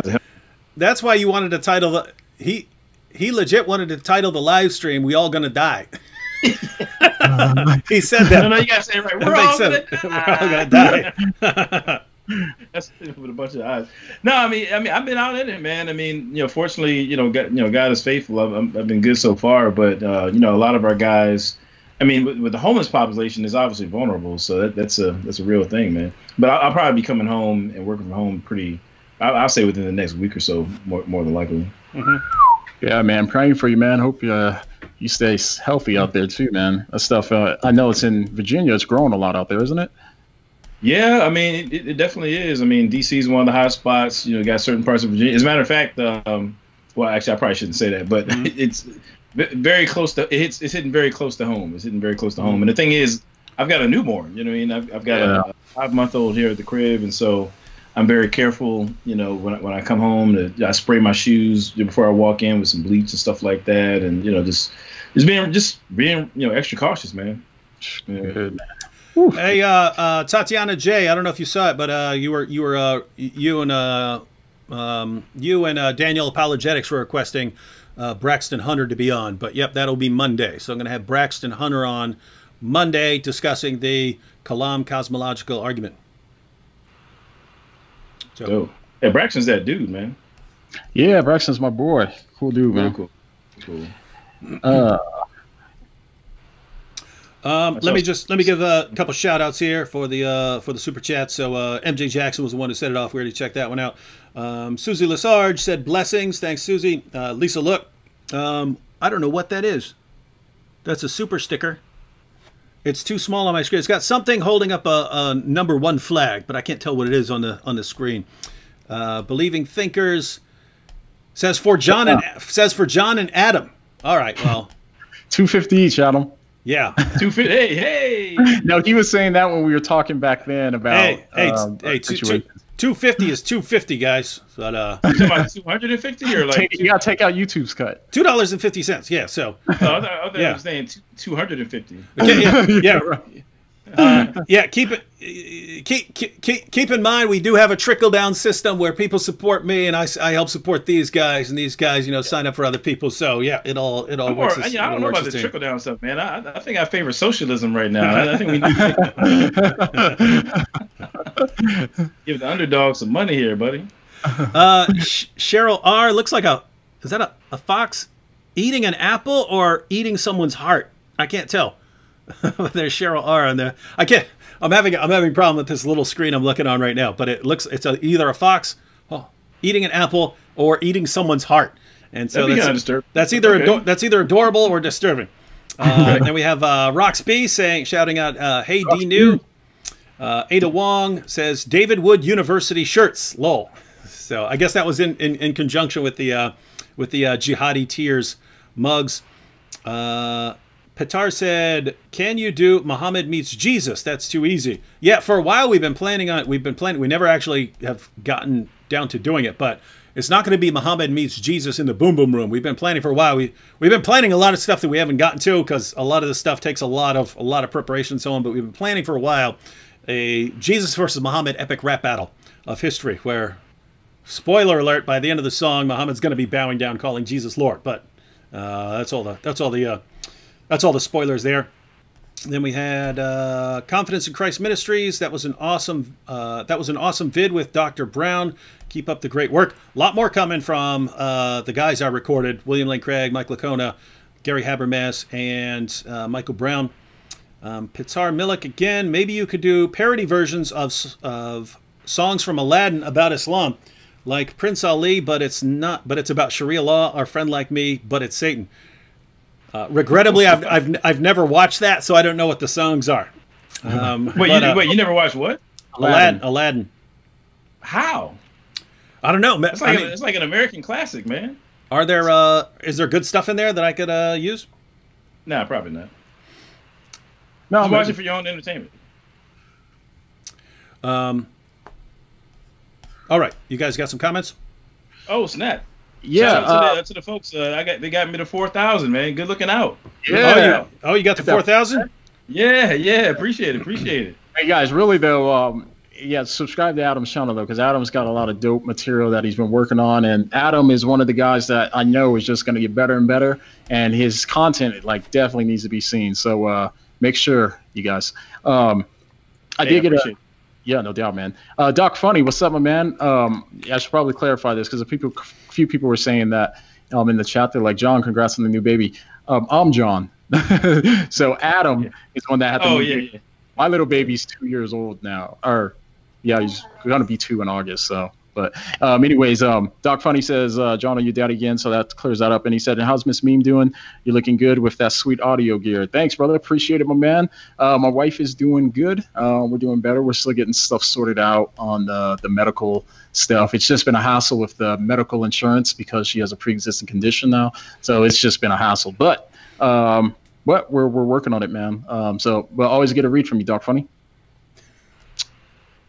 For for for, for any media just said uh, Muhammad versus Sam Shamoun in the Boom Boom Room, where Sam blocks Muhammad, because Sam's famous for just blocking anyone who so much as questions anything he says. He just block. he just block, and so. And so instead of Muhammad blowing up Sam, Sam instead blocks Muhammad. That would be, He just uh, that'd be blocks funny. That's hilarious. I was thinking. think I, I stepped away, so now I'm lost in the chat. I'm not sure where we are. I got to catch up. I was I was thinking of getting just a clip of uh, Ben Shapiro where he has some sort of dark background, like where he's speaking somewhere or something like this, where he sits down and just it's just Ben Shapiro with a with a dark background. And so Muhammad starts off and he goes, "And with me now is," and he looks over and then it, it cuts to Ben Shapiro and Muhammad goes, "A Jew," and then he just blo- and then he just blows him up, and that's that's the end. Um, But I, I would I would probably get Ben Shapiro's uh, permission before I before I did that. Yo, you know, it'd be dope if you get Tyson Fury on your channel, man. Like actually in the flesh, you know, to do it to get in the boom boom room, man. You got you got to make that happen, bro. Tyson Fury in the Boom Boom Room. Yeah, you got to make it happen, man. You got those connects, bro. You know what I'm saying? The first thing I'd like to say, Mohammed, is that I'd like to thank my Lord and Savior, Jesus Christ, the only Lord, the only God. You're That, guy, that guy's awesome. Yeah, he's dope. He's pretty dope. He's pretty dope. I saw he was. Uh, I don't know if you, this is a long time ago, but right after he beat, uh, right after he beat Klitschko, um, they had a press conference afterwards, and uh, you know, because Klitschko wanted a rematch and stuff like this, and Tyson Fury, th- and he was he was he was even uh he even had a bigger belly than he did, you know, when he was fighting Deontay Wilder, but uh, Tyson Fury, you know. uh, Klitschko's trying to talk a little bit of trash, and it's kind of not working because you know he's Russian. They're not good trash talkers. Uh, you know, the best they could come up with is like, I must break you. And I know before someone says he's Ukrainian, I know I call them all Russian. It's you know, it's just you know. Anyway, I call them all Ivan Wait, Drago Drago too. wasn't Ukrainian? Huh? Wait, No. wait. Klitschko's Ukrainian. Oh, Klitschko's Yeah, Ukrainian. That's- Klitschko's that's- Ukrainian. Yeah, no. Dra- yeah, Drago, Okay. Drago was Drago was Soviet Union. But yeah, um, yeah, so uh, so Klitschko's trying to you know to talk a little bit trash, and and and Tyson Fury just goes, "Yeah, I just beat you. Look, I'm not even an athlete. Look at me. to call to call me an athlete would be an insult." To all athletes who've ever existed. He goes, Look, you want to see something? And he stands up, he pulls his shirt off, he's got his belly hanging out, and he's shaking his belly and he's going, Look at me! Look at me! And he goes, then he sits back, he, he sits back and he goes, You got beat by a fat man. And then every time Klitschko would try to talk, Tyson Fury would just go, "You got beat by a fat man." And I was like, it was he was just he was just burning him up, man. He was just burning him up with "You got beat by a fat man." Yeah, And, uh, fat so man. the, yeah, the dude, the dude is just Klitschko's like mad in shape. That's like he's, he's kind of one of the he's shredded. for. He's shredded. I mean, especially for being as old as he is. You know that that guy's that guy's nothing but rip, man. Right, right. Um, by the way, about this quarantine situation, I can't. St- so I have a problem because I'm super introverted and I also hate the outdoors. So I have kind of a dual problem here. But I try to go on a walk every day because the gyms are all closed, which sucks. So um, I would advise that to. Was, to was that a, was that a question? Was someone asking what we what we're doing for the? Uh, Yeah. Yeah. Okay. So Oh, okay. Yeah. Yep. I, I think I'm lost in the chat. I'm just going to go to the end. Yeah. Yeah, I'm trying to keep up, but I'm, it's hard for me to like listen, think, and type at the same time because I'm just not gifted in that in that See, way. the key is what you do is just ignore whatever David's saying. That's what you Yeah, do. basically. Whatever he's saying, just just ignore him. Uh, you got a super chat from Tatiana and Doc Funny. You want me to read them? Are you pulling them up? uh, no, go ahead. Uh, Tatiana J says, um, I may give away everything I have to help others, and I may even give my body as an offering to be burned, but I gain nothing by doing all this if I don't have love. Yeah, she's Oh, quoting. so she's quoting yeah, from- yeah, she's quoting Okay. First Corinthians. Yeah, she's quoting. Uh, for any of you man, haven't, I'm, I'm for not any of you, even lie. Like I, I was really scared when, I, when when he started reading that, but then Yeah, I know, I know. I was- First Corinthians. Yeah, I thought- like, oh, okay, okay. okay. yeah, I thought, yeah, I thought she was like, what? In my body, what? What the heck's going on here? To be burned? What the heck is going on? Right? Yeah, yeah. No, I was thrown off for a second too, but yeah, guys, uh, one of the one of the most epic. Uh, one of the most epic passages in uh, in the Bible is called the love chapter. It's in it's in First Corinthians 13. In fact, um, a couple deba- I think uh, I think maybe two maybe two or three debates I had back in the day where I was addressing the Muslim argument that the Quran is so masterfully written it must be it must be from God, and I think I tossed out the challenge and I said, okay, okay, uh, we'll just do it like this. You you you you come up with the best passages you can from the Quran. I'll put them up against just one one little passage from the Apostle Paul, and I read that and I say, show me anything better than that in the, in the Quran. Show me anything better than that. Any combination of verses that are better than that. Oh man, I So, yeah. love like um, I love so many apostles like Galatians too. I love Galatians. I love Romans. I love yeah. There's a bunch of books in the Bible that I actually really love too. And you guys have you guys ever looked into um, really a deep look into John, even like First John, um, or even or actually um, John um, the uh, I am statements, the significance. Oh significance. yeah, yeah, yeah. The yeah. significance is crazy because you have the Greeks and then you have the Jews and then you have these um, views of what they had in all of the different um, I am statements too. So like John is amazing. Like so much of his stuff, like even First John. I used to hate First John. Now it's one of my favorite books. But like That's actually um, my favorite book of the Bible, First John. Really? Oh, that's Yeah, crazy. First John, yeah. Oh, man. Like there's so much really um, insanely amazing writing in in these New Testament um, books too. By the way, and people just don't understand the depth, especially John. I think. Um, so I've been studying John lately, and it's it's amazing. So Well, yeah, I mean, to your point too, I think so many times we read it uh, through like kind of westernized eyes, so to speak. You know what I mean? But when you can really understand kind of the Hebrewisms in the New Yeah. Testament and like what they were trying to articulate, it just opens up a whole another world. You know what I mean? Opens up a whole another world. I know for myself, like, I come out of like the Word of Faith uh, movement. You know, you know, thank God He took took me out of that. You know, by God's grace. But when I was coming up, like so many passages you read, and, and, and inevitably it would always be, you know, related back to money. You know what I'm saying? Yeah. And it's just amazing because, you know, when you start reading the scriptures in terms of what they really mean, you see it like a beauty that Yeah. you just didn't even know was there. You know what I'm saying? And it's just, um, yeah, just really getting into the word. I don't care how much you love, love apologetics, man. I mean, like, you know, you got to get in that word. You know what I'm saying Yeah, that's, that's, yeah. that's uh, primary. Um, Adam, let, let's talk uh, later on um, too about some of the stuff too, the John and stuff. We'll talk after we get off this stream or something maybe. Um, cool, cool. But hey, uh, the super chat from Doc Funny. Doctor Funny says, um, uh, Pat, good man. He says, um, I have to work tomorrow again. Or I have to work again tomorrow morning. He um, he's a doctor, by the way. So hey, thanks for your service. Really, I mean, it's crazy. Mm, the yeah. doctors having to work. It's crazy. Um, so I have to get out. Good to see you all. It was really. Uh, it is really grounding and building up in my faith to see you guys talking apologetics. Long days ahead, boys. God bless and keep you all. Sweet, sweet. Appreciate yeah, it, man. And Absolutely, doc, man. Doctor Absolutely. Funny, uh, uh, since uh, since Adam's definitely going to be uh, running into some coronavirus, um, you should join him. You should join him for that that special live stream. We all gonna die. right. No. Lend insights to how we're all going to die. Yeah, yeah. No, guys, for- guys, for real, it's uh, it's uh, you know, you want to watch out for the coronavirus because the the idea is you want it to spread slowly so that hospitals aren't overwhelmed. But in general, in general, in general, people are are usually okay from it. Like we were just talking to Sean. You, hey, you know Sean's got coronavirus. Yep. Yeah, Sean I, I've been talking Yep. to him. My boy Sean. Believe Hurst? not. Yeah, Sean Hurst. Really? I didn't know that. Okay. Yeah, Yeah. he's been. Yeah, mixed, mixed, uh, guys. Uh, if you check out the channel, Mixed Martial Apologetics, Mixed Martial Oh, man, Apologetics, didn't Mixed that, man. Martial Apologetics. We were just on. Someone share a link to Mixed Martial Apologetics. He just started that. I mean, he's been doing uh, videos for a while. He's a he's a he's a the guy's you know he's a martial artist and so on. And so uh, he's actually combining his interests. He's using he's using martial arts to explain apologetics uh, ideas and stuff like that. So interesting, uh, interesting channel. But he just started making videos uh, along those lines uh, over the past like month and a half. So so check out uh, check out that channel. But yeah, just He's a talking. Was super just smart guy too, man. Um, real smart guy. Actually, um, last week I did a presentation, um, you know, refuting you know some aspects of, of atheism, particularly as you see it emerging in African American context. And there was a, a argument that I was trying to formulate, and he helped me out with that. You know, um, a particular version of the argument from reason. So he's real big on epistemology. Real smart guy, man. Very helpful. Yeah. Oh yeah, he's he agrees with me on epistemology. By the way, did you know that? Uh, I mean, we've talked about this. I mean, his well, his position actually is that you know uh, there's various defensible perspectives, and he's cool with, with folks as long as you're kind of Yeah, because he's nicer than me. he's a nice guy, you know what I mean.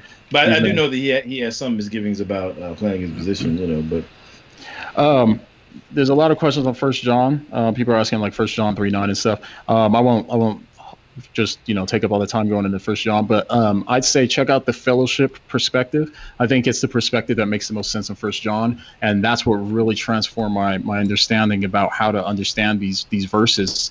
Um, when they say like the person who sins, um, or uh, it says if he who sins is of the devil, you know. Then you have passages like in First John one ten where it says if you say that you're without sin, then the truth is not in you. Um, so check out like the fellowship perspective.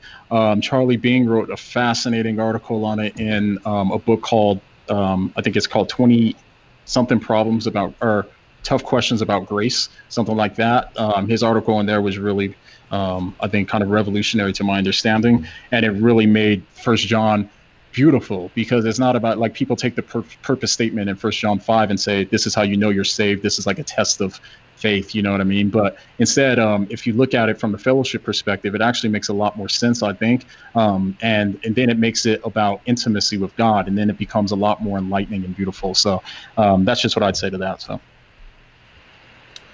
Um, Sola Scriptura said, uh, David, ever had any invitations from the mainstream media uh, about your channel? Um, yeah, and, uh, back when the Dearborn stuff was going on, we uh, spoke to uh, various news channels and so on. Um, I, I, I, think we were all on. I think we're all on when the deer when the Dearborn uh, situation was going on. So, yep, ended up on several shows there, and I was on. I've been on stuff with with regards to. Uh, I was interviewed about the Ground Zero Mosque and so on. Apart from that, I was. There were a bunch of times because I lived in New York where people would. I would just get a message all of a sudden after some terrorist attack or something like that, and would say, "Hey, can you be down here at this studio to talk about this?" At uh, you know by 3 p.m. and stuff like that, and I would see it at like 6 p.m. I'm the worst. You're you're you're not the worst. Sounds politically. right, right. You, know, you, you, you, don't even know what anyone's talking about, Jon. That's before yeah, your time. You were a baby. It's trickled down. Yeah, so Jon was like three years old, man. Yeah, yeah. Adam was saying uh, socialism. Yeah, is, so is so, so so Ray, Reagan's view was Bernie hey. Sanders with it right now. Reagan's view like Adam's team Bernie right now. Team Bernie. Uh, so trickle trickle down economics. Give the rich people give the I rich know. people some money, and it'll trickle down to us poor people. I know. Right. little trickle. Here's a little trickle. All right. Well, I guess we could. Uh, I guess we could uh, be wrapping it up here in about the next ten minutes. All right. Oh, people are asking if you have coronavirus, Wood, because you're coughing and stuff. No, I had a little cold, but no coronavirus. Um, yeah, I told him when I saw him yesterday with all the weight loss. I was like, "Oh man, I thought the corona got him, man." Um, uh, J- John Buckley said, "Did you guys ever get your camera back from the mayor?" Yes, that was actually how we were able to prove that we were innocent in court. But they, the problem was, so for anyone who doesn't know what we're talking about, you just look up uh, Dearborn arrests unedited footage or something like that. Dearborn arrests, but um, yeah, we were at the Dearborn Arab Festival. Uh, Nabil was answering some questions of some, some young Muslims. I was standing there holding a camera, wasn't saying a word, and police showed up, threw us all in jail. Uh, not not all of us, just the Christians. And then uh, the mayor and the chief of police, they all issued statements that we were screaming at people and causing a riot and all of these things was all total nonsense. And I was recording the entire time so I could prove that we weren't doing any of that, but they kept our cameras um, for for almost a month and wouldn't give us back. So by the time we actually got our cameras back, everyone had taken it for granted that we were screaming at people when we were a bunch of jerks. So even Christians were throwing us under the bus. And so, uh, yeah, there were a few exceptions. There were a few exceptions like, you know, James White. James White was one of the guys defending us back then. Uh, Lydia McGrew was one of the people defending us back then. So, uh, but yeah, there were lots of people. There were lots of people, lots of important people who were just, nope, these guys are bad, uh, so on. Didn't even pay attention. But yeah, we got the cameras back. In fact, uh, I just found one of those cameras. I'm thinking of giving it away because I have way better cameras now. If anyone wants it as like a uh, souvenir from history, I'm thinking I'm thinking of giving it away to someone. Uh, I should look on there. It's probably got some. You gonna some, do some, like one of those things like we got like like prayer water or something like that, where you give somebody the camera and they're healed of the coronavirus or something. Is that is that? Well, I mean, I mean, this thing for seventy nine ninety nine. This, this this camera this where is it? It should be around here somewhere, actually. Uh, this camera's crazy because, uh, I mean, this in 2009, when security attacked us and started slapping us around and stuff like that, that was the camera we were using then. The next year, uh, when we got uh, when we got arrested and they, they took the camera, that was that was the camera there. So uh, yeah, I don't, I don't need it for anything anymore. Again, I have way they're way they're just way better cameras now. So someone if someone wants a, a cool su you know autographed souvenir or something like this propped up, hey, you know that was the camera that David Wood and Nabil got arrested with all those years ago. And that was the one where they got the crap beat out of them. They're right there. Be funny. Um, let's see. People say to auction it. Somebody said, it. Adam, I sent David another super chat that you might appreciate. Uh, which one was that? Ian Sassanazal said, I bid $1 million. Sold, sir. Uh, that is a verbal binding contract. and uh, Oh, whatever happened to the Islamize me props? Did you guys send those out? No, we saved, we, sa- we, sa- we, sa- we we still saved all of them.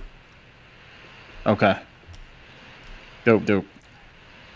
We need to do another. Uh, we need to do the next one, man. No, we're gonna do the prequel. It's a prequel. Yeah, I know. Yeah, I know. We got to. I want. I can't wait to start. When all this stuff clears up, we'll get it done. We need to. Hey, do David. What's up?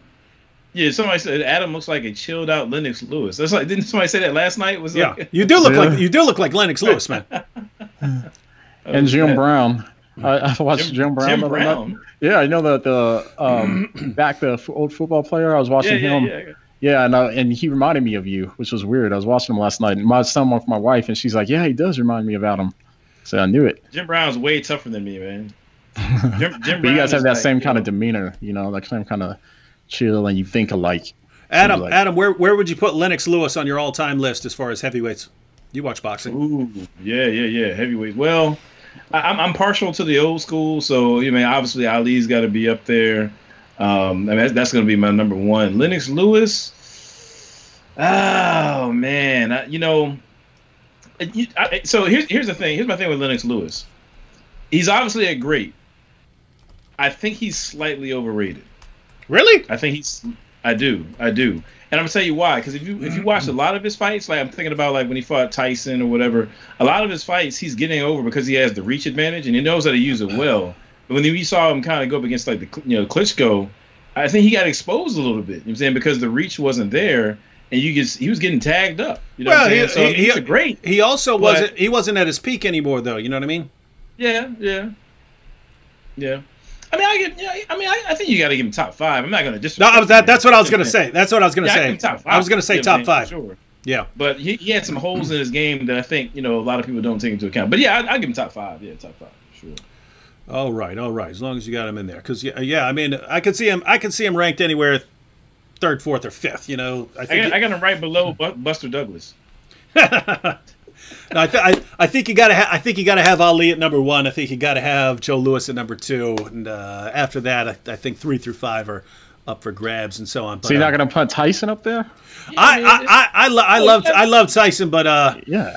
I love Cust I love Cus D'Amato Tyson. I just don't know. Yeah, I mean, uh, if if he hadn't if he hadn't gotten rid of Andy Rooney, man, uh, I don't know. I, I it's see part of it. Part of it is part of you know being an all time great is longevity. You know what I mean? Like like Yeah. how, how long can you do it? Right? I mean, the Klitschko's are going until they're like a thousand years old. You know, Yeah, Muhammad, right. uh, Muhammad Ali, Ali, George, yeah. George Foreman took Yeah, ten Foreman. year took ten years off and then came back. An old man was still knocking dudes out. Yeah, dude. So, George uh, Foreman was Foreman a top beast. five. To be honest, I think you got to put Foreman top five. And, and, I yeah, was just thinking that. Yeah, you got to put Foreman up there. Well, I'd say. I mean, if you look, he's, I mean, he's, the dude did not have, I mean, he had better boxing skills when he came out of retirement than he used to, but he's a, he's, He's the just strong.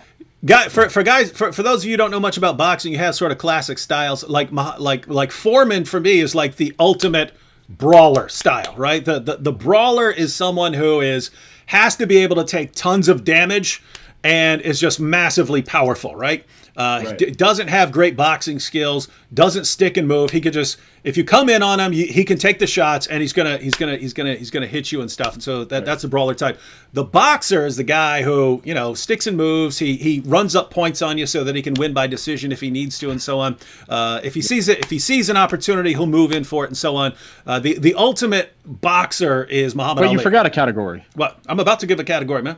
No, no, you forgot the. Oh, okay, go ahead.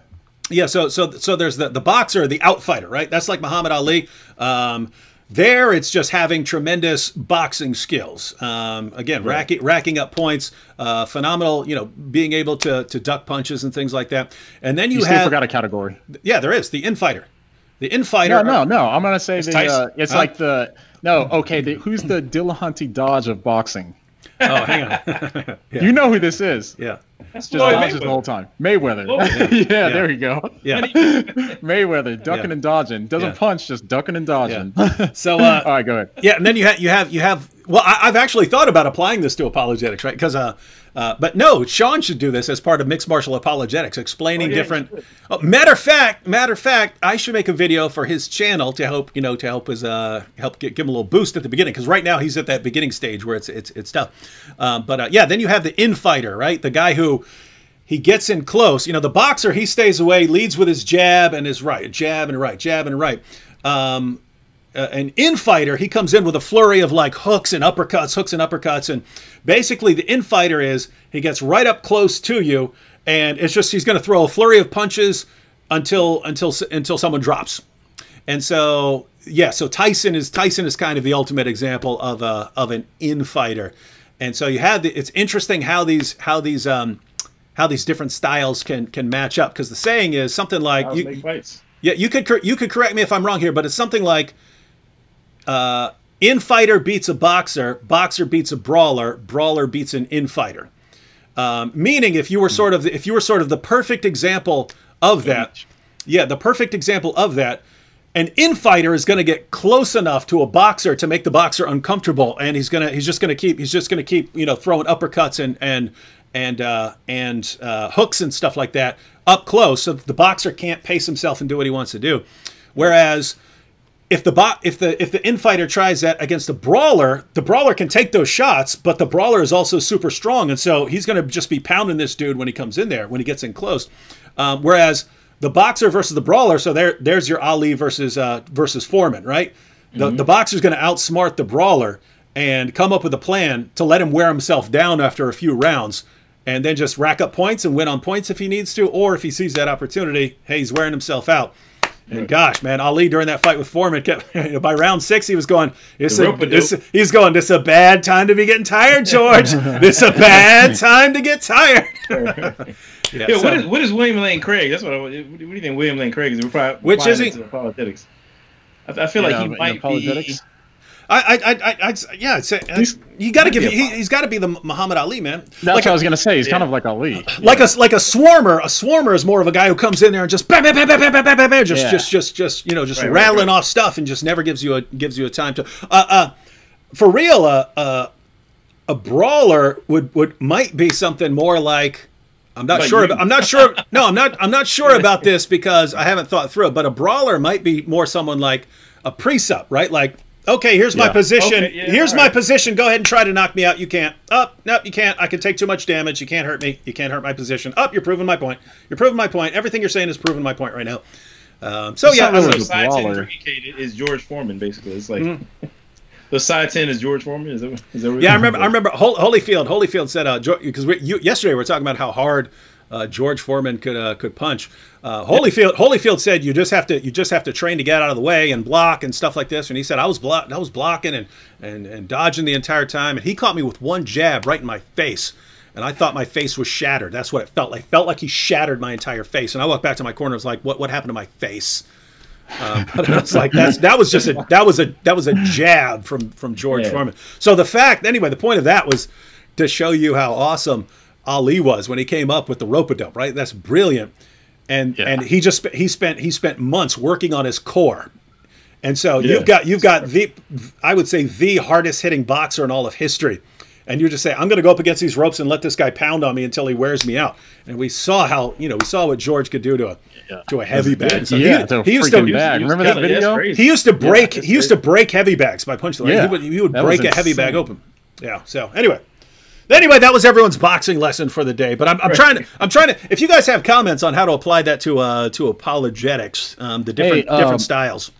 Piglet Smith says Jon McCray is vital. Kitsuchu. I have no idea who that is. Does anybody? Klitsch- Klitschko. Who is Oh, that? Klitschko. Who's Yeah. that? Yeah, Jon McCray. Jon McCray is uh, Klitschko. Vitali. Vitali. That's what they're trying to say. Is who? So You're- Vitali. There's two He's, Klitschko. there's yeah, two he's not boxers. saying vital. He's saying Vitali. Vitali Klitschko. He left an eye off. Yeah. Okay, yeah, who is that? What, That's- what category is he in? That's one of the Klitschko brothers. Yeah. Yeah, Yeah. what category? I don't know who they are. They're boxers, man. They're heavyweight I boxers. know they're boxers, but I'm saying what category do they go in? They're bo- they're They're like boxers. the Muhammad Ali. They're the bo- they're the they're the boxer style.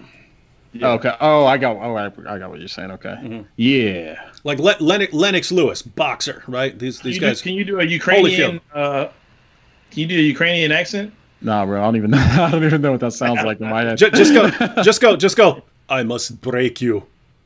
no, that's. Is that is that uh That was Ivan Drago. I Drago, must, I must break Gotcha. you. what is uh what is wood? You're probably more of the uh whatchamacallit. Yeah, well, he's gonna be. I, I, I, pr- I prefer, I prefer the Tyson swarming style. Let me run in. I, I don't, I don't, I don't always Yeah. use that. But if I, if I were to pick, if I had to stick with a style and go for it, that would, that's what I would, th- I would love that in So I'm, I'm, ju- I'm judging off your debate with Dillahunty the other day. I, am thinking about, in particular, where you referred to uh, Richard Dawkins as Pope Richard. yeah. That's that's that's a Tyson move right there. You know what I'm saying? He's kind of just coming in with little barbs there. You know what I'm saying? A little infighting there. You know, you refer to Pope Richard, and you just make a little comments throughout your like, like I can't think of anybody else saying who's gonna throw in jabs like that in their opening statement. You know what I'm saying? Like, like, ima- imagine William Lane Craig referring to you know Dawkins as Pope Richard or something like that. It's, it's just not gonna happen. Craig is Well, funny. well, I, I, I was, I was doing. I mean, I was doing that. I did that at one debate with an atheist, and uh, and then the dude ended up throwing Dawkins under the bus. He's like, "Well, I don't think Richard Dawkins is good. And you shouldn't be quoting him." I'm like, "Hey!" And I stood up and I go, "Hey, we agree on something. Richard Dawkins is a big joke. You shouldn't be listening to him. Am- Amen, amen to that." So, Oh, I'm gonna do a new Dawkins video soon. Just because, like, typically I'm like, eh, people have moved on past Dawkins, but there's a new, uh, a new interview he did that's gave me all kinds of funny ideas. So I'm gonna do a Dawkins video here soon, by the way. Dawkins is still out here getting it, man. I mean, he's got some residual effect going on, man. Man, he's kind of ticked off a lot of people though, like a lot of his uh, leftist uh, people. You know what I mean? Oh, with like the Twitter thing recently with the uh, all kinds of stuff. Yeah, like okay, that. Yeah. okay. He's got a new interview though where he's like just talking crap, and it's just funny because there's a bunch of funny stuff I can do with it. So, yeah, buddy. now, now hang out for real, we just did a whole Jane on boxing. That was dope. Yeah, now we have a bunch of now we have a boxing a bunch of boxing comments. Uh, John Buckley said David is Ali, Dillahunty is Jerry Quarry. Uh, Quarry Quarry was actually sad because he had that he had that uh, you know he had it worse than worse than Ali did for a while. But you know the the problems they have with uh, Oh yeah, because they're getting hit so much. But um, Yeah. uh, Jerry Quarry was a white boxer during the 70s, the greatest generation of boxers ever. And so Hmm. he is kind of like the great white hope for, for white, but he was, he was awesome. Like the guy could take a beating, but uh, he, he had too many problems with cuts. His skin, for some reason, if you hit him right, it would gush, it would start gushing blood. And so Uh-huh. the guy, the guy could just take a pounding. He was a good, he was, he was a good fighter. Uh, but he would, a, a lot of his, a lot of his losses against big opponents were stoppages because even if he was ahead on points and so on, to be stoppages because he just ends up bleeding a lot. And so it was, uh, yep. Uh, be, uh, Hey, I just want to. So I don't know who Piglet Smith is, but they said that Dawkins is Adrien Broner, which is for anybody who's, who's a boxing fan. I think that's hilarious. Adrien Broner is kind of like a guy who's super cocky, always talking trash, is like way over the top. And then, like in the big fights, he like gets his, his behind handed to him. Like so, it's, that's that's Adrien Broner's career. So he's like That- Zach Knight. huh? Oh, He's like snap. Zach Knight. Yeah. hey, hey, hey, uh, hey, Adam, you, you know that uh, Charlie Zelenoff guy? Oh yeah. You, you ever seen Charlie Zelenoff? Charlie Zelenoff's that guy who claims to be like 487 and 0, and he Yeah. runs he runs around. He, he like uh, he gets the crap beat out of him, but he always claims victory. He actually ran up on Deontay Wilder, and Deontay Wilder hit him with a couple, and he went running, and he claimed that he Oh, beat he, he claims that he beat Deontay Wilder and stuff like that. He's he's hilarious. He's got he's he's clearly he's clearly like mentally ill. There's something wrong with him. He runs around. Yeah. Wow. All right, guys, should we be wrapping this up? Yeah.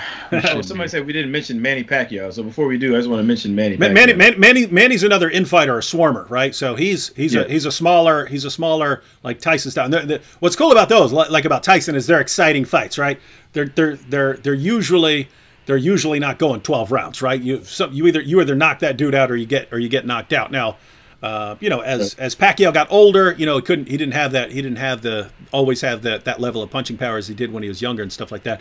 But but same idea. That's why that's why you don't want to see old Pacquiao versus old Mayweather, right? You want to see them both in their prime, and then you get to in see um, the you get to see Mayweather, who's like the ultimate defensive fighter, versus Pacquiao, who's like the ultimate, you know, the ultimate offensive fighter, and see them see them Right. go. Once they get old, and you know, one of them's lost his edge, then you know. Like yeah, yeah, yeah, right. I Actually, feel bad my- for all my the people who don't like Pacquiao's a pretty- boxing. He, he proclaims Christian. Yeah, somebody said. Uh, some, did you want to go on that question? I saw that too, Jon. You want to? What's hit that? No, no, I just said I feel bad for all the people who don't like boxing. There's a few people in there who's like, "What are you guys talking about?" And then some people Oh. are like, "Yeah," because they're like boring. I was like, "Yeah, I a think." hangout, man. You know, you never know what's gonna come up. You know what I'm saying? it's gonna come up. Yeah, Hey, here we get- are apologists. Like we can answer questions for people, and here we are talking about boxing. Um. Oh yeah, so so for anyone who came in late, we are just this is just a live hangout, so we're kind of just going with it, whatever came up or whatever uh, whatever questions came up. Um, I don't know. How did we get on boxing? I don't know. I'm pretty sure it was your fault. However, however it happened. Pretty, pretty sure it was all you. Um, David, did you lose your patience with Dillahunty? You're the first person to ask me that. Everyone else said, "Wow, you're remarkably calm considering Dillahunty was freaking out." Um, so no, he se- he seemed a little snippy. I, I felt like uh, I don't know if I mean, did you get that vibe from him? He, he seemed like he was a little snippy that day. Yeah, yeah, yeah. No, no. I'm, I'm, I'm gonna, I'm gonna make a video of like, uh, like when, when he, when he asked me, well, what, what does God do? And, and you know, the point is that God gives you a kind of moral realism, and it gives you a different view of other human beings. And he's like, well, you, you don't understand what that means, right? And I'm like, okay, well, if I'm asking what, what you are as a human being, then you know, I have the question of like where you came from, where you are, where you're going, and so on. And he, he, when I pointed out that there's a difference between viewing someone as something eternal versus viewing someone as something that's just going to, you know, it's going to die and be extinct, it, it, that does have an effect on on your view of what we are. Uh, And then he, then he, you know, flipped out. He was, "You're straw manning. That's a straw man. That's a straw man." He started flipping out. But uh, what I said has been said by a lot of atheists over the years, right? And I don't see how you get around it, right? Like, you know, Bertrand Russell. Bertrand Russell said it. Uh, in fact, he said any philosophy that's not that's not founded upon this this sort of despair that comes with acknowledging that as individuals and as an entire species, we're all we're all we're we're all destined to perish. He said, uh, uh, anything any philosophy that's not based that's not grounded on that's doomed to failure, right? So you can you can Mm-hmm. you can fool around and go, no, everything's great, everything's wonderful, and you just say it's doomed to failure. You, it's gonna it's gonna wind down and and so on. So I want to put something together of like quotes from atheists who said exactly what I said, but they I mean they said it in a much they're atheists who said it in much more extreme fashion, and basically Mm-hmm. said title it something like Matt Dillahunty slams Bertrand Russell. You know what I mean? Yeah, yeah, because he was. He's flipping. I mean, he's flipping out. I mean, you got the atheists of the 20th century; they were completely comfortable acknowledging this stuff. You get to the atheists of the 20th, 21st century, where they're far more emotional. They're like balls of rage, and they flip out when you they flip out when you say something that atheists of the 20th century would gladly acknowledge, and so Right, on. right. So it's uh, it's it's interesting how the atheists now would just completely throw these guys under the bus and uh, and uh, just lose their minds on them. Yeah, as I understand it, I think that's more of a like it's for like the pop level atheists, or you're kind of internet atheists or whatever. I mean, I Yeah. think the I think the guys who are like I'm thinking, for example, somebody like a Graham Oppy, or you know somebody. Oh, they would hate Dillahunty and them stuff. They would think it's so ridiculous. Right. I mean, yeah. yeah, they're, they're more willing to stand the ground and say, hey, look, you know, this is, you know, we, we accept the proposition that God does not exist and, you know, such and such implications from it. Matter of fact, I like that video you and um, IP did, Jon, on um, the skeptics, or I can't remember how you titled it, but just Oh, yeah. basically a strategy where they kind of use skepticism as a, you know, rather than a tool to, you know, kind of highlight truth, it's just more of a, um, a stance to avoid truth in a sense. I mean, I, I don't know if that's Yeah. how you term it, but yeah. Yeah, something like that. And that's the thing is like I just want to keep pointing out the little things that they do that other people are like, I know they're doing something, but I can't figure out what it is. You know what I mean? It kind of like bugs you or whatever. So I just want to keep pointing out these things to make it clear, like what they're doing. You know what I mean? To kind of pull that rug out from under. So that's why I'm always trying to um, expose that kind of stuff.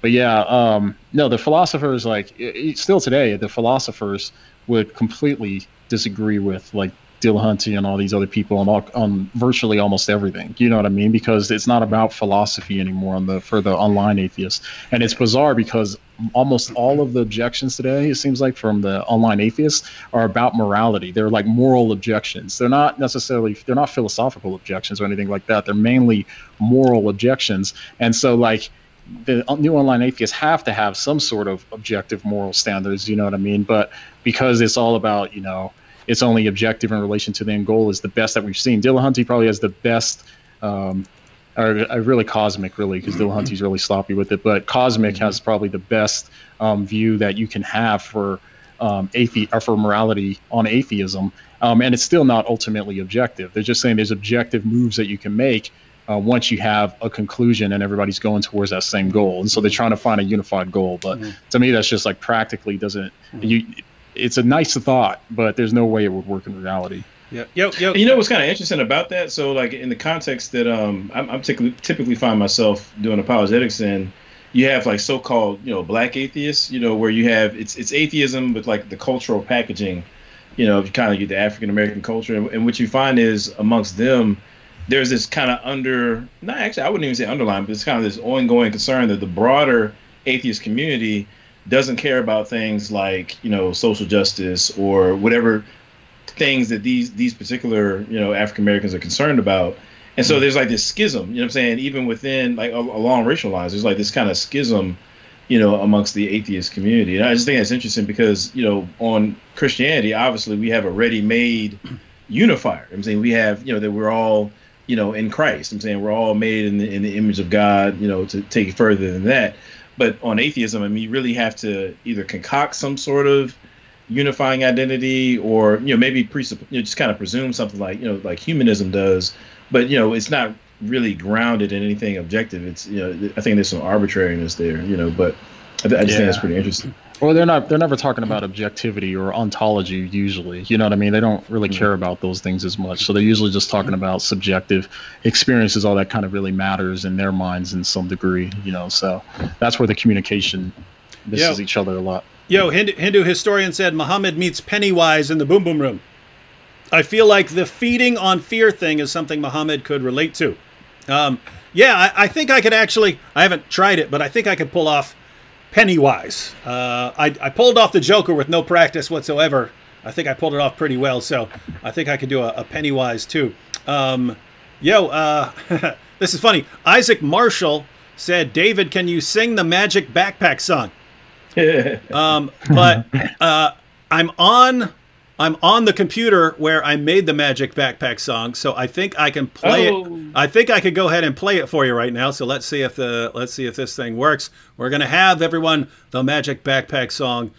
If this works, I hope this is not some bad edit or something, but this is what pops up when I clicked on uh, Backpack song. All right, let's check it out.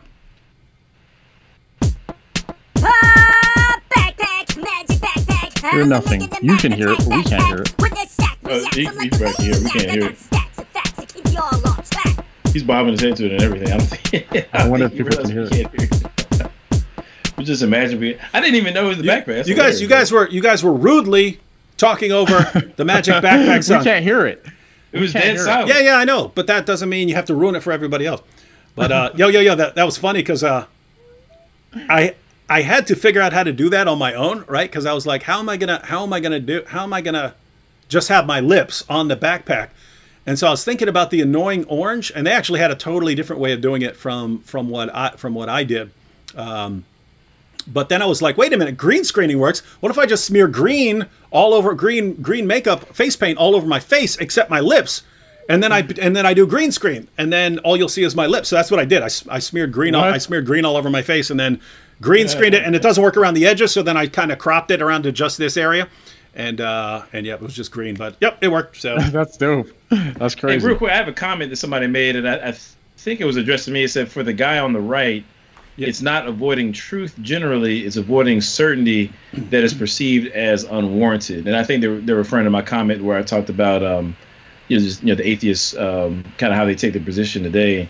And um, you know, to, to, that I would say that I mean, honestly, mo- most apologists uh, at least in the circles that I roll in, I don't think anybody's really pressing for like some sort of psychological certainty. You know what I'm saying? Where it's like I'm going to make this argument, and you've got no mental capacity to resist coming to believe, you know, the gospel or something like that. You know, um, so I, I, don't think either side, generally speaking, is pressing for some sort of psychological certainty.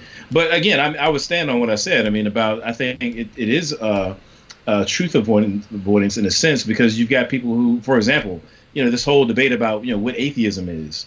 You know, I mean, to be honest, I mean, we, we know what atheism is classically speaking, and kind of this notion today when it comes to oh, well, it's just a lack of belief in God and so on and so forth. I mean, I'm, I'm, I'm this is just my perspective, and, and, maybe you guys disagree. I don't know. I'm just throwing it out there, but I think that it is an, an attempt to avoid taking on the burden of proof, you know, with respect to making a claim about God's non-existence. You know, and I think that it's kind of an attempt to avoid, you know, conversations that would direct one to truth if, if somebody was sincerely engaging in it. So that's that's my that's my view. You know. Yeah, it absolutely is. I think.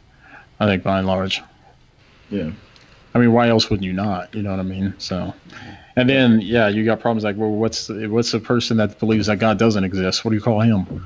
You know what I mean? A person that says God does not exist. You know, and would they probably say, oh, an atheist can be both or whatever? But then I'm like, okay, then don't get mad if people say that atheism is the belief that God does not exist. You know, so. Right. And uh, just to give a, a, clear example, like so, so often, like one of the kind of taglines today, or you know, it's like the slogan kind of time, kind of things today is they will they'll say, well, atheism isn't a worldview, or you know something along those lines. And you know whether you take it to be a worldview or not, I mean, if, if you believe, if you take it that God does not exist, there are implications that follow from that. You know what I'm saying? And so we're so if we're talking about those implications, i.e., I would say that you know morality, you know, can't be grounded and things of that nature. I mean, whether you take atheism to be a quote worldview or not, if you take the, the proposition that God does not exist to be true, then yeah, there's going to be you know implications that follow from that, and and some of those implications have to do with morality. Some have to do with you know how we value folks and you know function in the world. So you know, I, I just think it's just kind of a, a way of, of kind of doing that little dodge thing when people it, it becomes a conversation stopper. Like you don't really get anywhere. Really. Yeah, uh, Greg Koukl's uh, newer book, what's it called? Uh, the Story of Reality. Yeah. I like how he kind of maps it out, where he's like, basically everybody has a way of that they're seeing the world, um, and so you have these different puzzle pieces, you know, that um, can make um, your view of the world make more sense than others. And you have these internal components and external components, and then you're comparing different views of the world like that. So, regardless, whatever you want to say about atheism, there's a way that atheists see the world, and they don't include God into the way they see the world. So, in that aspect, too, you can compare that view compared to the theistic worldview, and then kind of go from there. So, yeah, there you go. Got a request for Muhammad meets Muhammad Ali. oh snap! That'd be funny. what? Why are you so white? right, right. Did I ever tell you my, my that the story about my grandma meeting Muhammad Ali? Did I ever tell you that? Man, your grandma didn't uh, meet no Muhammad Ali. Come on, dude. That's like she she sure did. No, you're, you're like, you're like you're like uh, you're like the uh, guy in Coming to America. The barber said, uh, "Let me tell you about the time I met I met Dr. Martin Luther King.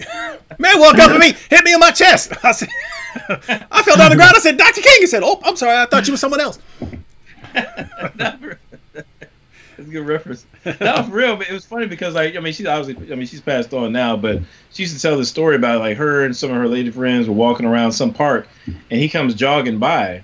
You know what I'm saying? He's like, and he, it was just like a real quick meet and greet, like you know, you know, hello ladies, something like that. And she keeps on, he keeps on going, and it's funny because every time she would tell the story, she would always say, "And Adam, he was a good looking man," and then my granddad would just kind of like crumple his newspaper and like be like that. That's gonna be me like a thousand times. He was a good looking man. hey, uh, we keep you in the comment. Um, you guys want to touch on it from uh, Yoshua Purba says, "Hi, how do you explain the connection from Creator to Jesus to people who are not familiar with the Bible? Thank you." So I think yeah, what he's asking, I think from the older comments, he's saying like you have like the Kalam and these arguments, and then how do you get to Jesus from them, or is there a way to get to Jesus from them? Uh, what say you would? Um, yeah, well, I mean, I mean, I think you you have to bring in the history of Jesus and and the information we know about Jesus, but uh, this this would be part of a cumulative case, right? Um, if you build a, a Kalam cosmological argument, uh, fine tuning arguments, biological design, a moral argument, whatever you know, whatever you put into there, you're you're you're ruling out certain alternatives, right? That, hey, all these all these other alternatives that do not involve uh, a creator or a moral foundation, things like this, uh, these these can't account for reality. These can't account for our experience, and so you need something more. And so, but the question the question remains: Wait a minute! If you've got a creator who created the universe and fine tuned it so that we can be alive, and who is also the ground of all goodness and uh, the you know the the one who gives us moral obligations and so on if you've got all that that that gives you that gives you theism but the question is has he shown us more and so we say he has shown more and here's why and so then you then you get to jesus so that would be my view yep yeah i think you need the the bible or uh, history or both in order to talk about Jesus. Otherwise, yeah. I mean, but you do have like some instances in um, for Muslims and stuff in other countries and stuff like that that will have like visions of Jesus and stuff like that and convert and stuff like that too. So in um, situations like that, um, it is possible. I think the um, other people can convert without having direct access to the Bible or something like that. All right, guys. Well, we are pushing two hours now, so um, unless you got something else, we should probably wrap up. Yeah. All right, so uh, right, sounds good. Yeah, yeah. All right, um, Jon McCray. Final words. Remind everyone where to get a hold of you and uh, what you got coming up. Final words, final words. Yeah, so uh, go to Whaddo You Meme? Uh, just search it and you will find my channel. And um, yeah, you guys, I got a lot of stuff coming up that I'm excited about. I've got like two big projects in my head, and I'm still trying to get things worked out since I just went full time, getting a bunch of stuff worked out, like the business side of it all and stuff. So that's taking a lot of time right now, but um, I hope to have it done here. I'm getting towards the end of it now. So um, then I'll be cranking out videos like crazy. I'm trying to. So, anyways, um, yeah. And tomorrow night I have a live stream with Sam Shamoun, so you guys can come join that. It'll be at 8 p.m. Eastern on my channel. So, yeah, good to see everyone. All right, Adam. Yeah, first of all, somebody, uh, John Wilson said, Adam, when are you going to fix that wall behind you? yeah, bombing here, you know, it's, it's falling apart. But I was working real quick trying to get my kids their dinner before I was I set up my stuff, so I didn't get everything set up how I wanted. He's outside actually. Yeah, yeah, there you go. He lives in the street, kind of. So out, in the, out in the elements, but um, yeah. So uh, yeah, likewise, man. I got some projects coming up. As a matter of fact, this coming week, um, I've got a guest. I've got uh, you know Braxton Hunter's going to be on. I know David's going to have him on on Monday, and um, I'm going to have him on on Thursday. You know, so y'all definitely um, skip David's you know, and then you know come check mine out, you know, for sure. uh, but no, um, so I've got him coming up, and um, I'm actually trying to step my game up as far as doing a uh, at least one live uh, per week. You know, I'm, I'm, trying to get up to two, but right now I'm doing one. So I've got a couple topics planned out. Um, one in particular, uh, I've got a um, for anybody who's familiar with the Hebrew Israelites. Um, I have an argument against uh, their identity claim that um, me, me, me and Vocab Malone, we did like a, a, tag team debate, and I dropped it a couple years ago. And uh, just the other day, I, I kind of polished it off, dusted it off, so to speak. And I'm going to be kind of, you know, presenting a, a, a, strengthened version of that. So I'll probably drop that uh, next week. And I've got some stuff coming up on atheism after that. I got about a good three or four subjects, you know, mapped out. So y'all check me out at Tru-ID. It's T R U I D Apologetics uh, here on YouTube. Oh, Adam, I'm gonna I plan on releasing our second video sometime next week. By the way, probably too. So just so you oh, know. dope. Yeah, that'd be great. That'd be great. Yeah, yeah. We did uh, two on um, atheism and whatnot. And um, yep. actually, I just I was part of the Cyber City conference uh, last week, and um, I did a, a, whole you know hour um, with, with different versions of the uh, the moral argument. Um, which I think militate against uh, atheism. So anybody who likes those videos that we did, you probably want to hop over and uh, you know check that out. You know. Oh, uh, Wood Radical Love commented and said the David Wood documentary. Yeah, what is going on with the David Wood documentary? No, I, David Wood. I told you why you need to hold off on that till something else happens. So, no, guys, that yeah. that is that is that delay is not on Jon McCray. That is on something I told him he needs to uh, he needs to wait on to make it uh, a little bit more epic. But uh, yeah, it's gonna be dope though. I'm yeah. excited for it. Yeah, all right. My favorite. All right, so uh, everyone subscribe to Jon's channel, uh, especially you know because you know some of these live streams uh, coming up, especially tomorrow and so on. He's going to be having live streams over on here, and he just makes uh, just makes good videos. And subscribe to Adam's channel because uh, he's gonna he's, he's gonna blow up. It's a matter it's a matter of time. And uh, as Fred Sanford pointed out, tell all your friends about Adam. Let's try to get him up to 5,000 subscribers. Um, that'll be a pretty cool pretty cool milestone. And and Adam, you're yeah. Once five, once once you got five thousand, all the rest is easy, man. The first five thousand is hard. I'm getting there, man. The next five thousand is easy.